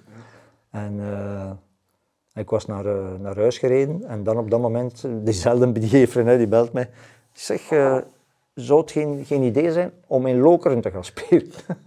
Dat is vlakbij thuis dan. ja. Ik zeg, ja, dat is op... Ja, ik- Graz ligt 1200 kilometer van huis en, en Lokeren ligt 12 kilometer van huis. ik zeg, ja. En, en financieel was het identiek hetzelfde. Dus ja. Dus, dus dan heb ik me in Lokeren eh, ja, nog 17 matchen gespeeld. Eh, wij stonden... Lokeren stond la, voorlaatste of laatste, denk ik, met 11 punten. Ja. We zijn erin gebleven. En we hebben dan nog 27 punten gehad in de tweede ronde. De Braziliaan Tyson. Ja, ja, ja. Ja. Die is dan ook wat te dik zo, hè? Dat was niet de scherpste, hè? Nee, dat was Renatinho, dat was die kleine en dikke. Ah ja. Ik Maar, weet eh, wie jij bedoelt. Die heeft toen... Ja, die Maar die Tyson die heeft, die heeft goeie, 11 golen of 12 of 13 golen gemaakt. Wie was daar nogal zo bij, bij, bij Loker? Was dat... Eh, ja, die had eh, Olivier Dol speelde daar. Juist. Olivier Dol. Onderschatte verdediger, vind ik. Beest, Ja. beest van verdediger. Ik zou, daar zou ik nu niet Nee, graag nee. tegen voetbal hebben. Nee, die nee, want nu ook was met, met huid en haar. Maar die gebruikte alles. Hè. Eh, Goeie man, denk ik. Die trok altijd, aan de, die trok altijd, de truiken had hij altijd vast. Hè. Maar echt een mandekker. hè. Ja, echt. Die zou nu niet meer kunnen functioneren. nee. Hè. Nu, nu, maar dat vroeger zo met, met een libero en Ja. een mandekker. En die uh, Maar- maar zo Beenhard ook, hè. Ja, of met twee mandekkers en een libero erachter. Maar zo, zoals ze nu spelen, zo, in zone. Met, met, met, was hem te traag voor. Niet wendbaar genoeg. Ja, en hij zou ook, ja, ik weet het niet, hij had dat lichamelijk contact dat hij Die nodig trucken, die trucken van daarvoor, die gaan... Dus altijd, die kreeg altijd fout mee. Hè? Ja. Dus die trok aan de trui en dat moment dat scheidsrechter kreeg, was hij altijd los en dan reageerde de ander en die kreeg je fout Ja. tegen. altijd. Speelde thuis tegen Lazio een heel goede wedstrijd, weet ik nog. Ja. Maar daar hoeven we nu niet te veel bij stil te staan. In 2005 stop jij met profvoetbal. Is er, eh, als je nu terugkijkt op jouw carrière, ben je tevreden over wat je hebt bereikt? Of... Ja, ik heb meer, meer gehad dan dat ik ooit van gedroomd had, denk ik. Oké, Ja. mooi. Je komt niet ik ben- vaak... Zeg maar. Maar ik ben 23 jaar prof geweest. Hè, dus, eh, ja. En dan, ben, ja, je hebt gezegd, je bent zeven keer kampioen geweest. Dus Er zijn er niet veel die dat lijstje kunnen voorleggen. Eén keer op drie, dat is wel mooi. hè. ja. Daar kan Anderlecht nu alleen maar van dromen. Eh, ja, ja. Ja, en het wordt er niet makkelijker op. Hè. Zijn er aanbiedingen geweest die dat je geweigerd hebt? Wel echt wat je nu van denkt van... hm, Nee. Of niet dat je weet misschien. Nu dat ik weet ook, ja. Je komt niet vaak voor in die typische lijstjes van beste Belgische doelmannen aller tijden. Ja. Vind jij dat jammer? Ja, je kijkt daar wel naar, hè. maar je kunt dat wel plaatsen. Ja. En ja, kijk, ik, ik, ik, je leert ook de zaken rela- relativeren. Hè. Dat, eh, eh, ja, je moet het maar doen op het moment dat, dat de mogelijkheid daar is. Eh, ja. Ik heb ook een, een WK gespeeld. Dat is een beetje, ik heb twee van de drie wedstrijden gespeeld. Daarna had ik die derde wedstrijd door, door blessure niet kunnen spelen. Dan Euro 2000 Ja. ja. Dat is iets anders dan beste keeper van het toernooi uitgeroepen worden of, eh, of de Chenimil van het toernooi. Hè. Dus, eh, allee, ehm, ja, dus daarmee kan ik dat wel plaatsen. Dus, Maar ik, mijn palmarès spreekt voor zich. Zeker. Dat is eh, het, zeker het aantal wedstrijden dat ik kunnen spelen. En eh, ik speelde ook alles. Ik speel ook alle bekerwedstrijden. Alle, dus, eh, Over alle wedstrijden gesproken, we gaan hier een klein... Het is niet een quizje, maar ik ga toch wel een aantal statistieken naar boven halen. Je mag eens gaan raden. Je speelde bij Anderlecht in totaal 442 wedstrijden. Heb je enig idee in hoeveel procent van die matchen je de nul hebt gehouden? nee. Wil je eens een gokje wagen? 442 wedstrijden. Yes. Dat is niet niks. 10 procent of zoiets. 45,24 procent. Oei. 200 matchen van de 442. Je bent daarmee veruit het beste van de Ja. klas wat betreft Anderlecht-keepers, zeker van de laatste 20, 25 jaar. Ja. Oei. Qua Amai. we Ik had- Je schrikt er zichtbaar van. Ja, ik schrik al wel, vooral omdat... Allee, vroeger vonden we dat altijd, eh, als ik zo naar eh, de statistieken keek, zo van als je minder... eh, Als je, je had 34 34 wedstrijden in, een kampioenschap. Als je minder dan 34 goals tegengekregen had, dat was goed. Ja. Als je er meer, dan was meestal dat het een minder seizoen was ook. Ja. Maar ah, je hebt bijvoorbeeld zo'n uitschieter, Michel Pelom heeft een jaar bij Mechelen gehad, dat hij denk ik 13 goals tegengekregen heeft op een gans jaar. Uitzondering. Dus, dus dat is... Maar in mijn herinnering ook als supporter, ehm, ik vind het vaak onderschat, Philip de Wilde, zeker en vast. Eh, want alles wat er daarna gekomen is, wat ik geweten heb, is nooit zo stabiel geweest. Ja. Dat maar is zo. toch, ik vind, ik vind dat Zitka toch een heel goede periode gehad heeft. Een periode, ja, maar nooit En dan eh, Proto ook. Hè. Ja, maar ik vind, ik, ik ben altijd... Proto is nooit, ah, denk ik, nooit zo goed geweest als, ah, ja, als die met mij gewerkt heeft. Maar eh, dat vond Ja. ik al- ah, bij Anderlecht, ah, dat is dan over als coach. Dus ik was vijf jaar coach bij Anderlecht met, met Ariel. En dan was er daar het moment, eigenlijk was er een mondeling akkoord tussen Herman van Olsbeek en mij en, en de voorzitter van eh, we, gaan, we gaan verlengen. We gaan verlengen. En dus eh, ik, ik zei tegen Herman, ja, ik zeg, voor mij is het goed, maar ik, zeg, ik, zou wel, ik zou het wel willen weten tegen het einde van de maand of dat effectief zo is, ja of nee. Hè, Het moet dan wel een keer getekend worden, niet zo. eh, en dan een maand later ga ik terug bij hem en hij zegt, ja, eh, in de raad van bestuur hebben ze beslist van toch nog wat te wachten, we willen, want we weten nog niet wie dat er volgend jaar trainer is. Maar ik zeg, ja, ik zeg, weet je wat, ik zal ik voor jullie beslissen, laat het. Ik zeg, als jullie nu nog niet weten wat ik waard ben, zeg, dan, dan gaat het nooit niet weten. Dat is ook jouw eerbaarheid misschien niet dan. Dus dan is het ook zo'n beetje mijn, mijn kop dat ik uitspeel. Want als, misschien als ik op dat moment zeg van, weet, oké, Zit je er nu misschien nog bij? en dan zit ik er misschien nu nog. Ja. ja. Misschien. Maar wat, wat ik nu, om even terug te komen op Proto, want dat is mooi dat je dat zegt, maar ik vind, ehm, Europees heeft Proto nooit niet het niveau gehaald dat jij gehaald hebt. Dan botsten we vaak op zijn... Thuis tegen tegen Limassol plaatste Anderlecht wel mee. Ja, maar, Om een voorbeeld te geven. ja, maar ik vind... Marcelo is top. Allee, die was ik- elk jaar was keeper van het jaar. Ja, Allee, allee, altijd beste keeper van het kampioenschap. ja ik, ik weet het Dus, niet. eh, altijd. Dat is maar een compliment voor, voor u, ik, Filip. ik, had ook, ik had ook een probleem. Allee, ik was niet de gast. Silvio gaat nooit zeggen van dat is mijn beste keepertrainer die ik ooit gehad heb. Allee, het is niet dat ik daar naar op zoek ben, maar die gaat dat ook nooit niet zeggen. Ik, ik heb ook nooit zo'n close band met die keepers. Ik heb met iedereen een rechtvaardige, maar, maar wij hebben, ik, ja, we zijn allemaal werknemers. Dus we zijn gewoon collega's. Maar het is nooit zo dat we echt vrienden of amicaal met elkaar omgaan. Dat is misschien ook gevaarlijk. Als keeperstrainer om Ja, een... moet toch op Ja, maar vaak hoor je toch zo van, wij zijn een familie. Ja. Ja, hey, dat is zo, hè. Ja, dat is zo dat keepertrainers. Is dat dan waar of is dat voor de bühne? Is dat voor de... Voor de bühne misschien, ja, dat weet ik wel, maar eh, ay, in mijn ogen werkt dat niet. Ja, dus, en ik ben ook niet zo de grote communicator, dus op, op dat vlak. Het enige dat er was van, als te werken was, was te werken. dat was zo. En de Silvio, die, die daarna, als ik dan weg was, en dan is Max de Jong gekomen, en dan mocht hij zelf zo wat meer bepalen, en dan zat hij wat meer zo mee, eh, mocht hij wat rondootjes spelen en wat weet ik allemaal zo. Eh, dus het regime was allemaal een beetje minder. Ehm, maar als ik nu Silvio, is die heel erkentelijk. Als ik hem zelf zo zie, hè, is die, dan is, nu is hij heel erkentelijk, want hij weet van, god, ik heb hard moeten werken, maar Het heeft mij ergens gebracht. het heeft mij wel ergens gebracht. Ik weet nog, dat was zo de laatste match van het seizoen en er was niks meer te winnen of te verliezen. En, en ik zeg tegen Silvio, ik zeg, zeg wat denkt je, wilde, als kijk, jij beslist, als jij zegt van, ik wil per se die laatste match spelen, geen probleem. Oh nee, maar ik zou willen dat, dat ding en dat, dat Cordier speelt. Dat is dan ook mooi. Ja, dat is ook mooi dat hij zichzelf Ja. eh, op dat moment wegcijfert. Ik zou dat nooit hebben. maar, eh allee, ik vind cadeaus, allee, ook als je ontvangen, cadeaus ontvangen is ook niet altijd plezant. hè. Ja, als je zo, niet omdat door je prestige, maar gewoon van, Ja, ja. hey, we geven Je hebt niet het gevoel dat je het verdient, dat misschien op basis ja. van je prestaties. Dus, Dus dan gaan we die cadeaus niet geven. Als je het toch niet wilt, dan eh, gaan we weer. voilà. Ja, dus nog één statistiek. Eh, aantal tegendoelpunten per minuut. Heb je een idee? Om de hoeveel minuten? dat je gespeeld hebt? Als ik dat Ja, moet je, moet, twee- uitrekenen... je moet twee dingen weten over Dries. Kijk, je hebt dus het Nilis fan zijn en dan ook de quizjes. De quizjes, dat vindt hem ook altijd fantastisch. Nee, Nee, ik heb er geen idee. Wacht, hè. Je mag een Eh, gokje wagen. om de drie matchen pakte. 270. Oef, het was aantal tegendoelpunten per minuut 1 om de 94. Maar je zit daarmee wel in de top 2 van de laatste... weer 1 om de 25. 94. Sitka Maar- staat op 1 met één goal om de 97 minuten. We hebben wel gekeken naar keepers die minstens 100 matchen gespeeld hebben. voor Ah ja. Maar... Dus ja. Misschien moet het toch Nee. nog even terugkomen voor die statistieken. Met die sta- ja, klopt dat met die... Wil dat dan zeggen dat ik in die andere matchen zoveel golen tegenkreeg? Ik denk vooral dat je moet kijken. Met de het gaat over ook de, de lengte van de periode. Je gaat bij u langer zijn dan bij Zitka. Tuurlijk, Ja. Dat speelt ook mee. Hè. tuurlijk.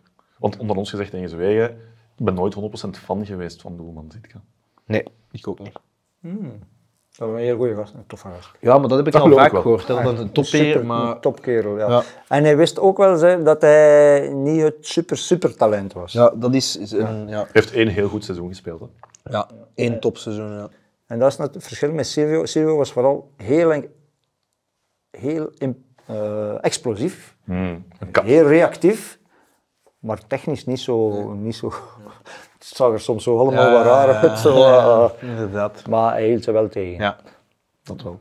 Uh, maar Daniel was dan meer, meer, een stilist, meer een stilist en die probeerde alles zo te doen, maar die, die, die miste wel zo wat Een die beetje, eh, explosiviteit. Zo, ja. Ah, ze- zo explosiviteit, zo, de, de, zo echt eh, ja, de sprongkracht, de, de, de snelle ja. reactie. Het was zo meer dege, pure degelijkheid Ja, ook ja. zo, heel sober ook. Komen bij de laatste vraagjes, want we zitten hier ondertussen al een Ja. tijdje. Ja, ja, ja. Eh, je bent zes keer kampioen geworden met Anderlecht. Wende dat op den duur? Vandaag is het alweer even geleden dat ze kampioen zijn geworden, maar misschien dacht jij in die periode, och ja, een streepje erbij. Ja, nee, ik vond het altijd wel. eh, de momenten dat je, dat je het binnen hebt, dat vond ik altijd onvergetelijk. Elke keer. En elke keer eh, moest ik zo even zo denken van. Ik heb het weer geflikt. Ja, allee, goh, dat, dat ik dit nog weer ma- mag meemaken. Allee, dat vond ik altijd zo echt een mijlpaal. Ik, ja, ja. Vooral omdat zo'n kampioenschap dat gaat over een gans jaar. En dat, Ben je dan feestbeest tot zes uur s ochtends in de carré? Eh, eh, tot zes uur niet, maar allee, ja, toch wel. Dan, Dan, dan, het wel dan even. kun je ja. het even loslaten. Als ik het dan nog even nog volhou. Maar Meestal na een tijd is het... het eh, Oké. Voor Anderlecht komend seizoen, heb je daar nog bepaalde verwachtingen bij? Of wens jij hen iets toe? Of is dat voor jou een beetje een ver van jouw bedshow geworden? ja, een beetje wel, ja. Ik kijk vooral uit naar die trip samen met ons naar eh, de match. Dat, eh, dat, eh, Ja, ik heb... Ik, ik, ik zou geen vijf spelers kunnen opnoemen, denk ik. Ja. ja, ik heb Jari natuurlijk wel, van de belofte. En eh, Francis Amouzou van de belofte. Eh, ja, Dingske nu, die nu aan het komen is bij de belofte. eh, de Kana. verdediger. Ah ja, Marco Cana. Ja. De Bast. En Zeno de Bast, ja. Ah, er zitten wel, wel wat gasten in de pijplijn, hè. Ja. Zeker. Als je die neerpeden, hey, ze hebben daar Gaat een ongelooflijke vijver achterin. Hè. Allee, de stad Brussel, daar, ja, daar komen toch elke dag supertalenten uit. Dat kan toch niet anders. Klopt. Ja, daar moet je... Maar, maar je hebt al gezegd van de ja, kippers, eigenlijk zelf kippers vormen weinig. Hè. Vanuit Anderlecht zo. En uh, we hebben het even met Timon van Outen gehad. Ja. Uh, ja. Misschien moeten ze er ook durven in investeren. Hè. Ik weet in der tijd, als, als ik... Uh, Jacques Munaron was keepertrainer van Anderlecht. Nog van mij, maar ook daarna nog. Op een bepaald moment heeft hij een aanvaring gehad met Philippe Collin en het verhaal liep af. Maar ik weet dat ik in der tijd tegen Herman van Olsbeek, als hij mij eerst contacteerde, dat ik zei, maar ja, ik zeg, ik zeg maar waarom, waarom houden Jacques niet? Ik zeg, ik zal ik de bovenbouw van de jeugd doen. Maar daar was dan ook uh, totaal geen sprake van. Waarmee dat ik maar wil zeggen, misschien moeten ze er ook gewoon durven in investeren. Hè. Ken je Wout Meesen al? Wout Meesen ken ik, ja. Dat zit er toch ook aan te komen, hè? Ja, maar die heeft een beetje zijn profiel tegen. Qua link dan, ja. ja. Want die speelt, uh, dat is de keeper van de U8, nee, U18 of is dat U... Ja, nu is het U18. hè. U18 je wordt hebt die U, U16 en Ja. U18. En die, eh, dan nu die speelt op de middenlijn. Ja, die speelt echt als libero. Hè. Dat is ja. echt, Hij heeft heel goede voeten, dat kan Ja. heel, maar hij heeft een beetje zijn gestalte tegen. Dus ik hoop dat dat, eh, dat kan misschien nog wel... Die kerel kan echt... was lang een veldspeler geweest en ze pas op zijn 14 of 15 de goal Hij gezet. is denk ik. technisch heel goed. Ja. Hij heeft heel goede voetjes. Nu de groeischeut nog. Ja. Maar dat is het, eh, ja, Wat mogen we jou persoonlijk nog wensen, meneer Philip de Wilde? Voorbij. Oef, Een goede gezondheid. Dat is het belangrijkste. Ja, dat is het belangrijkste, pijs ik, ja.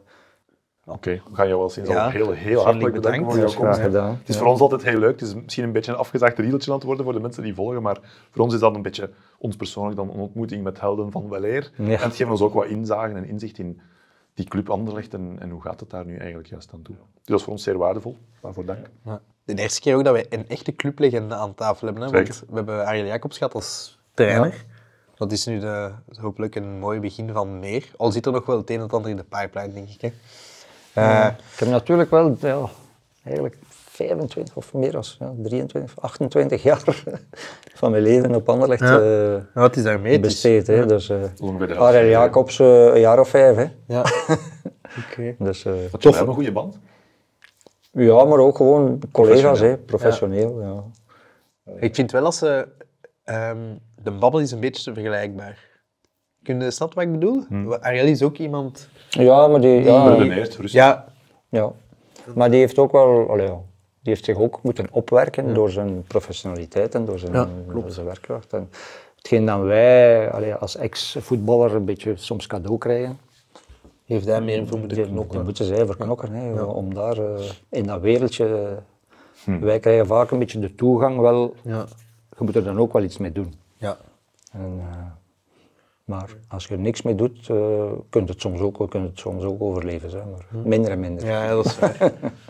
Ehm, er is mij nog de sponsors te bedanken. Ehm Lemtwist. Het is vandaag geen lampjes van Lemtwist, maar... eh, en eh IF Imo, het Imo-kantoor. En Tom Stunt, de paardentandaard. En nog een belangrijk, ik weet niet of jij het gaat zeggen, of eh, hoe dat de mensen ons kunnen steunen. Zeg maar. Ik mag het zeggen. Volg ons op social media, like onze content. En ehm, ja, Like en subscribe. like en subscribe. En eh, voilà. En dan komt er nog veel meer moois aan. Zeker. Andermaal bedankt, meneer Philip de Wilde. Ja. Graag gedaan. Tot de volgende keer. En veel succes. Ja.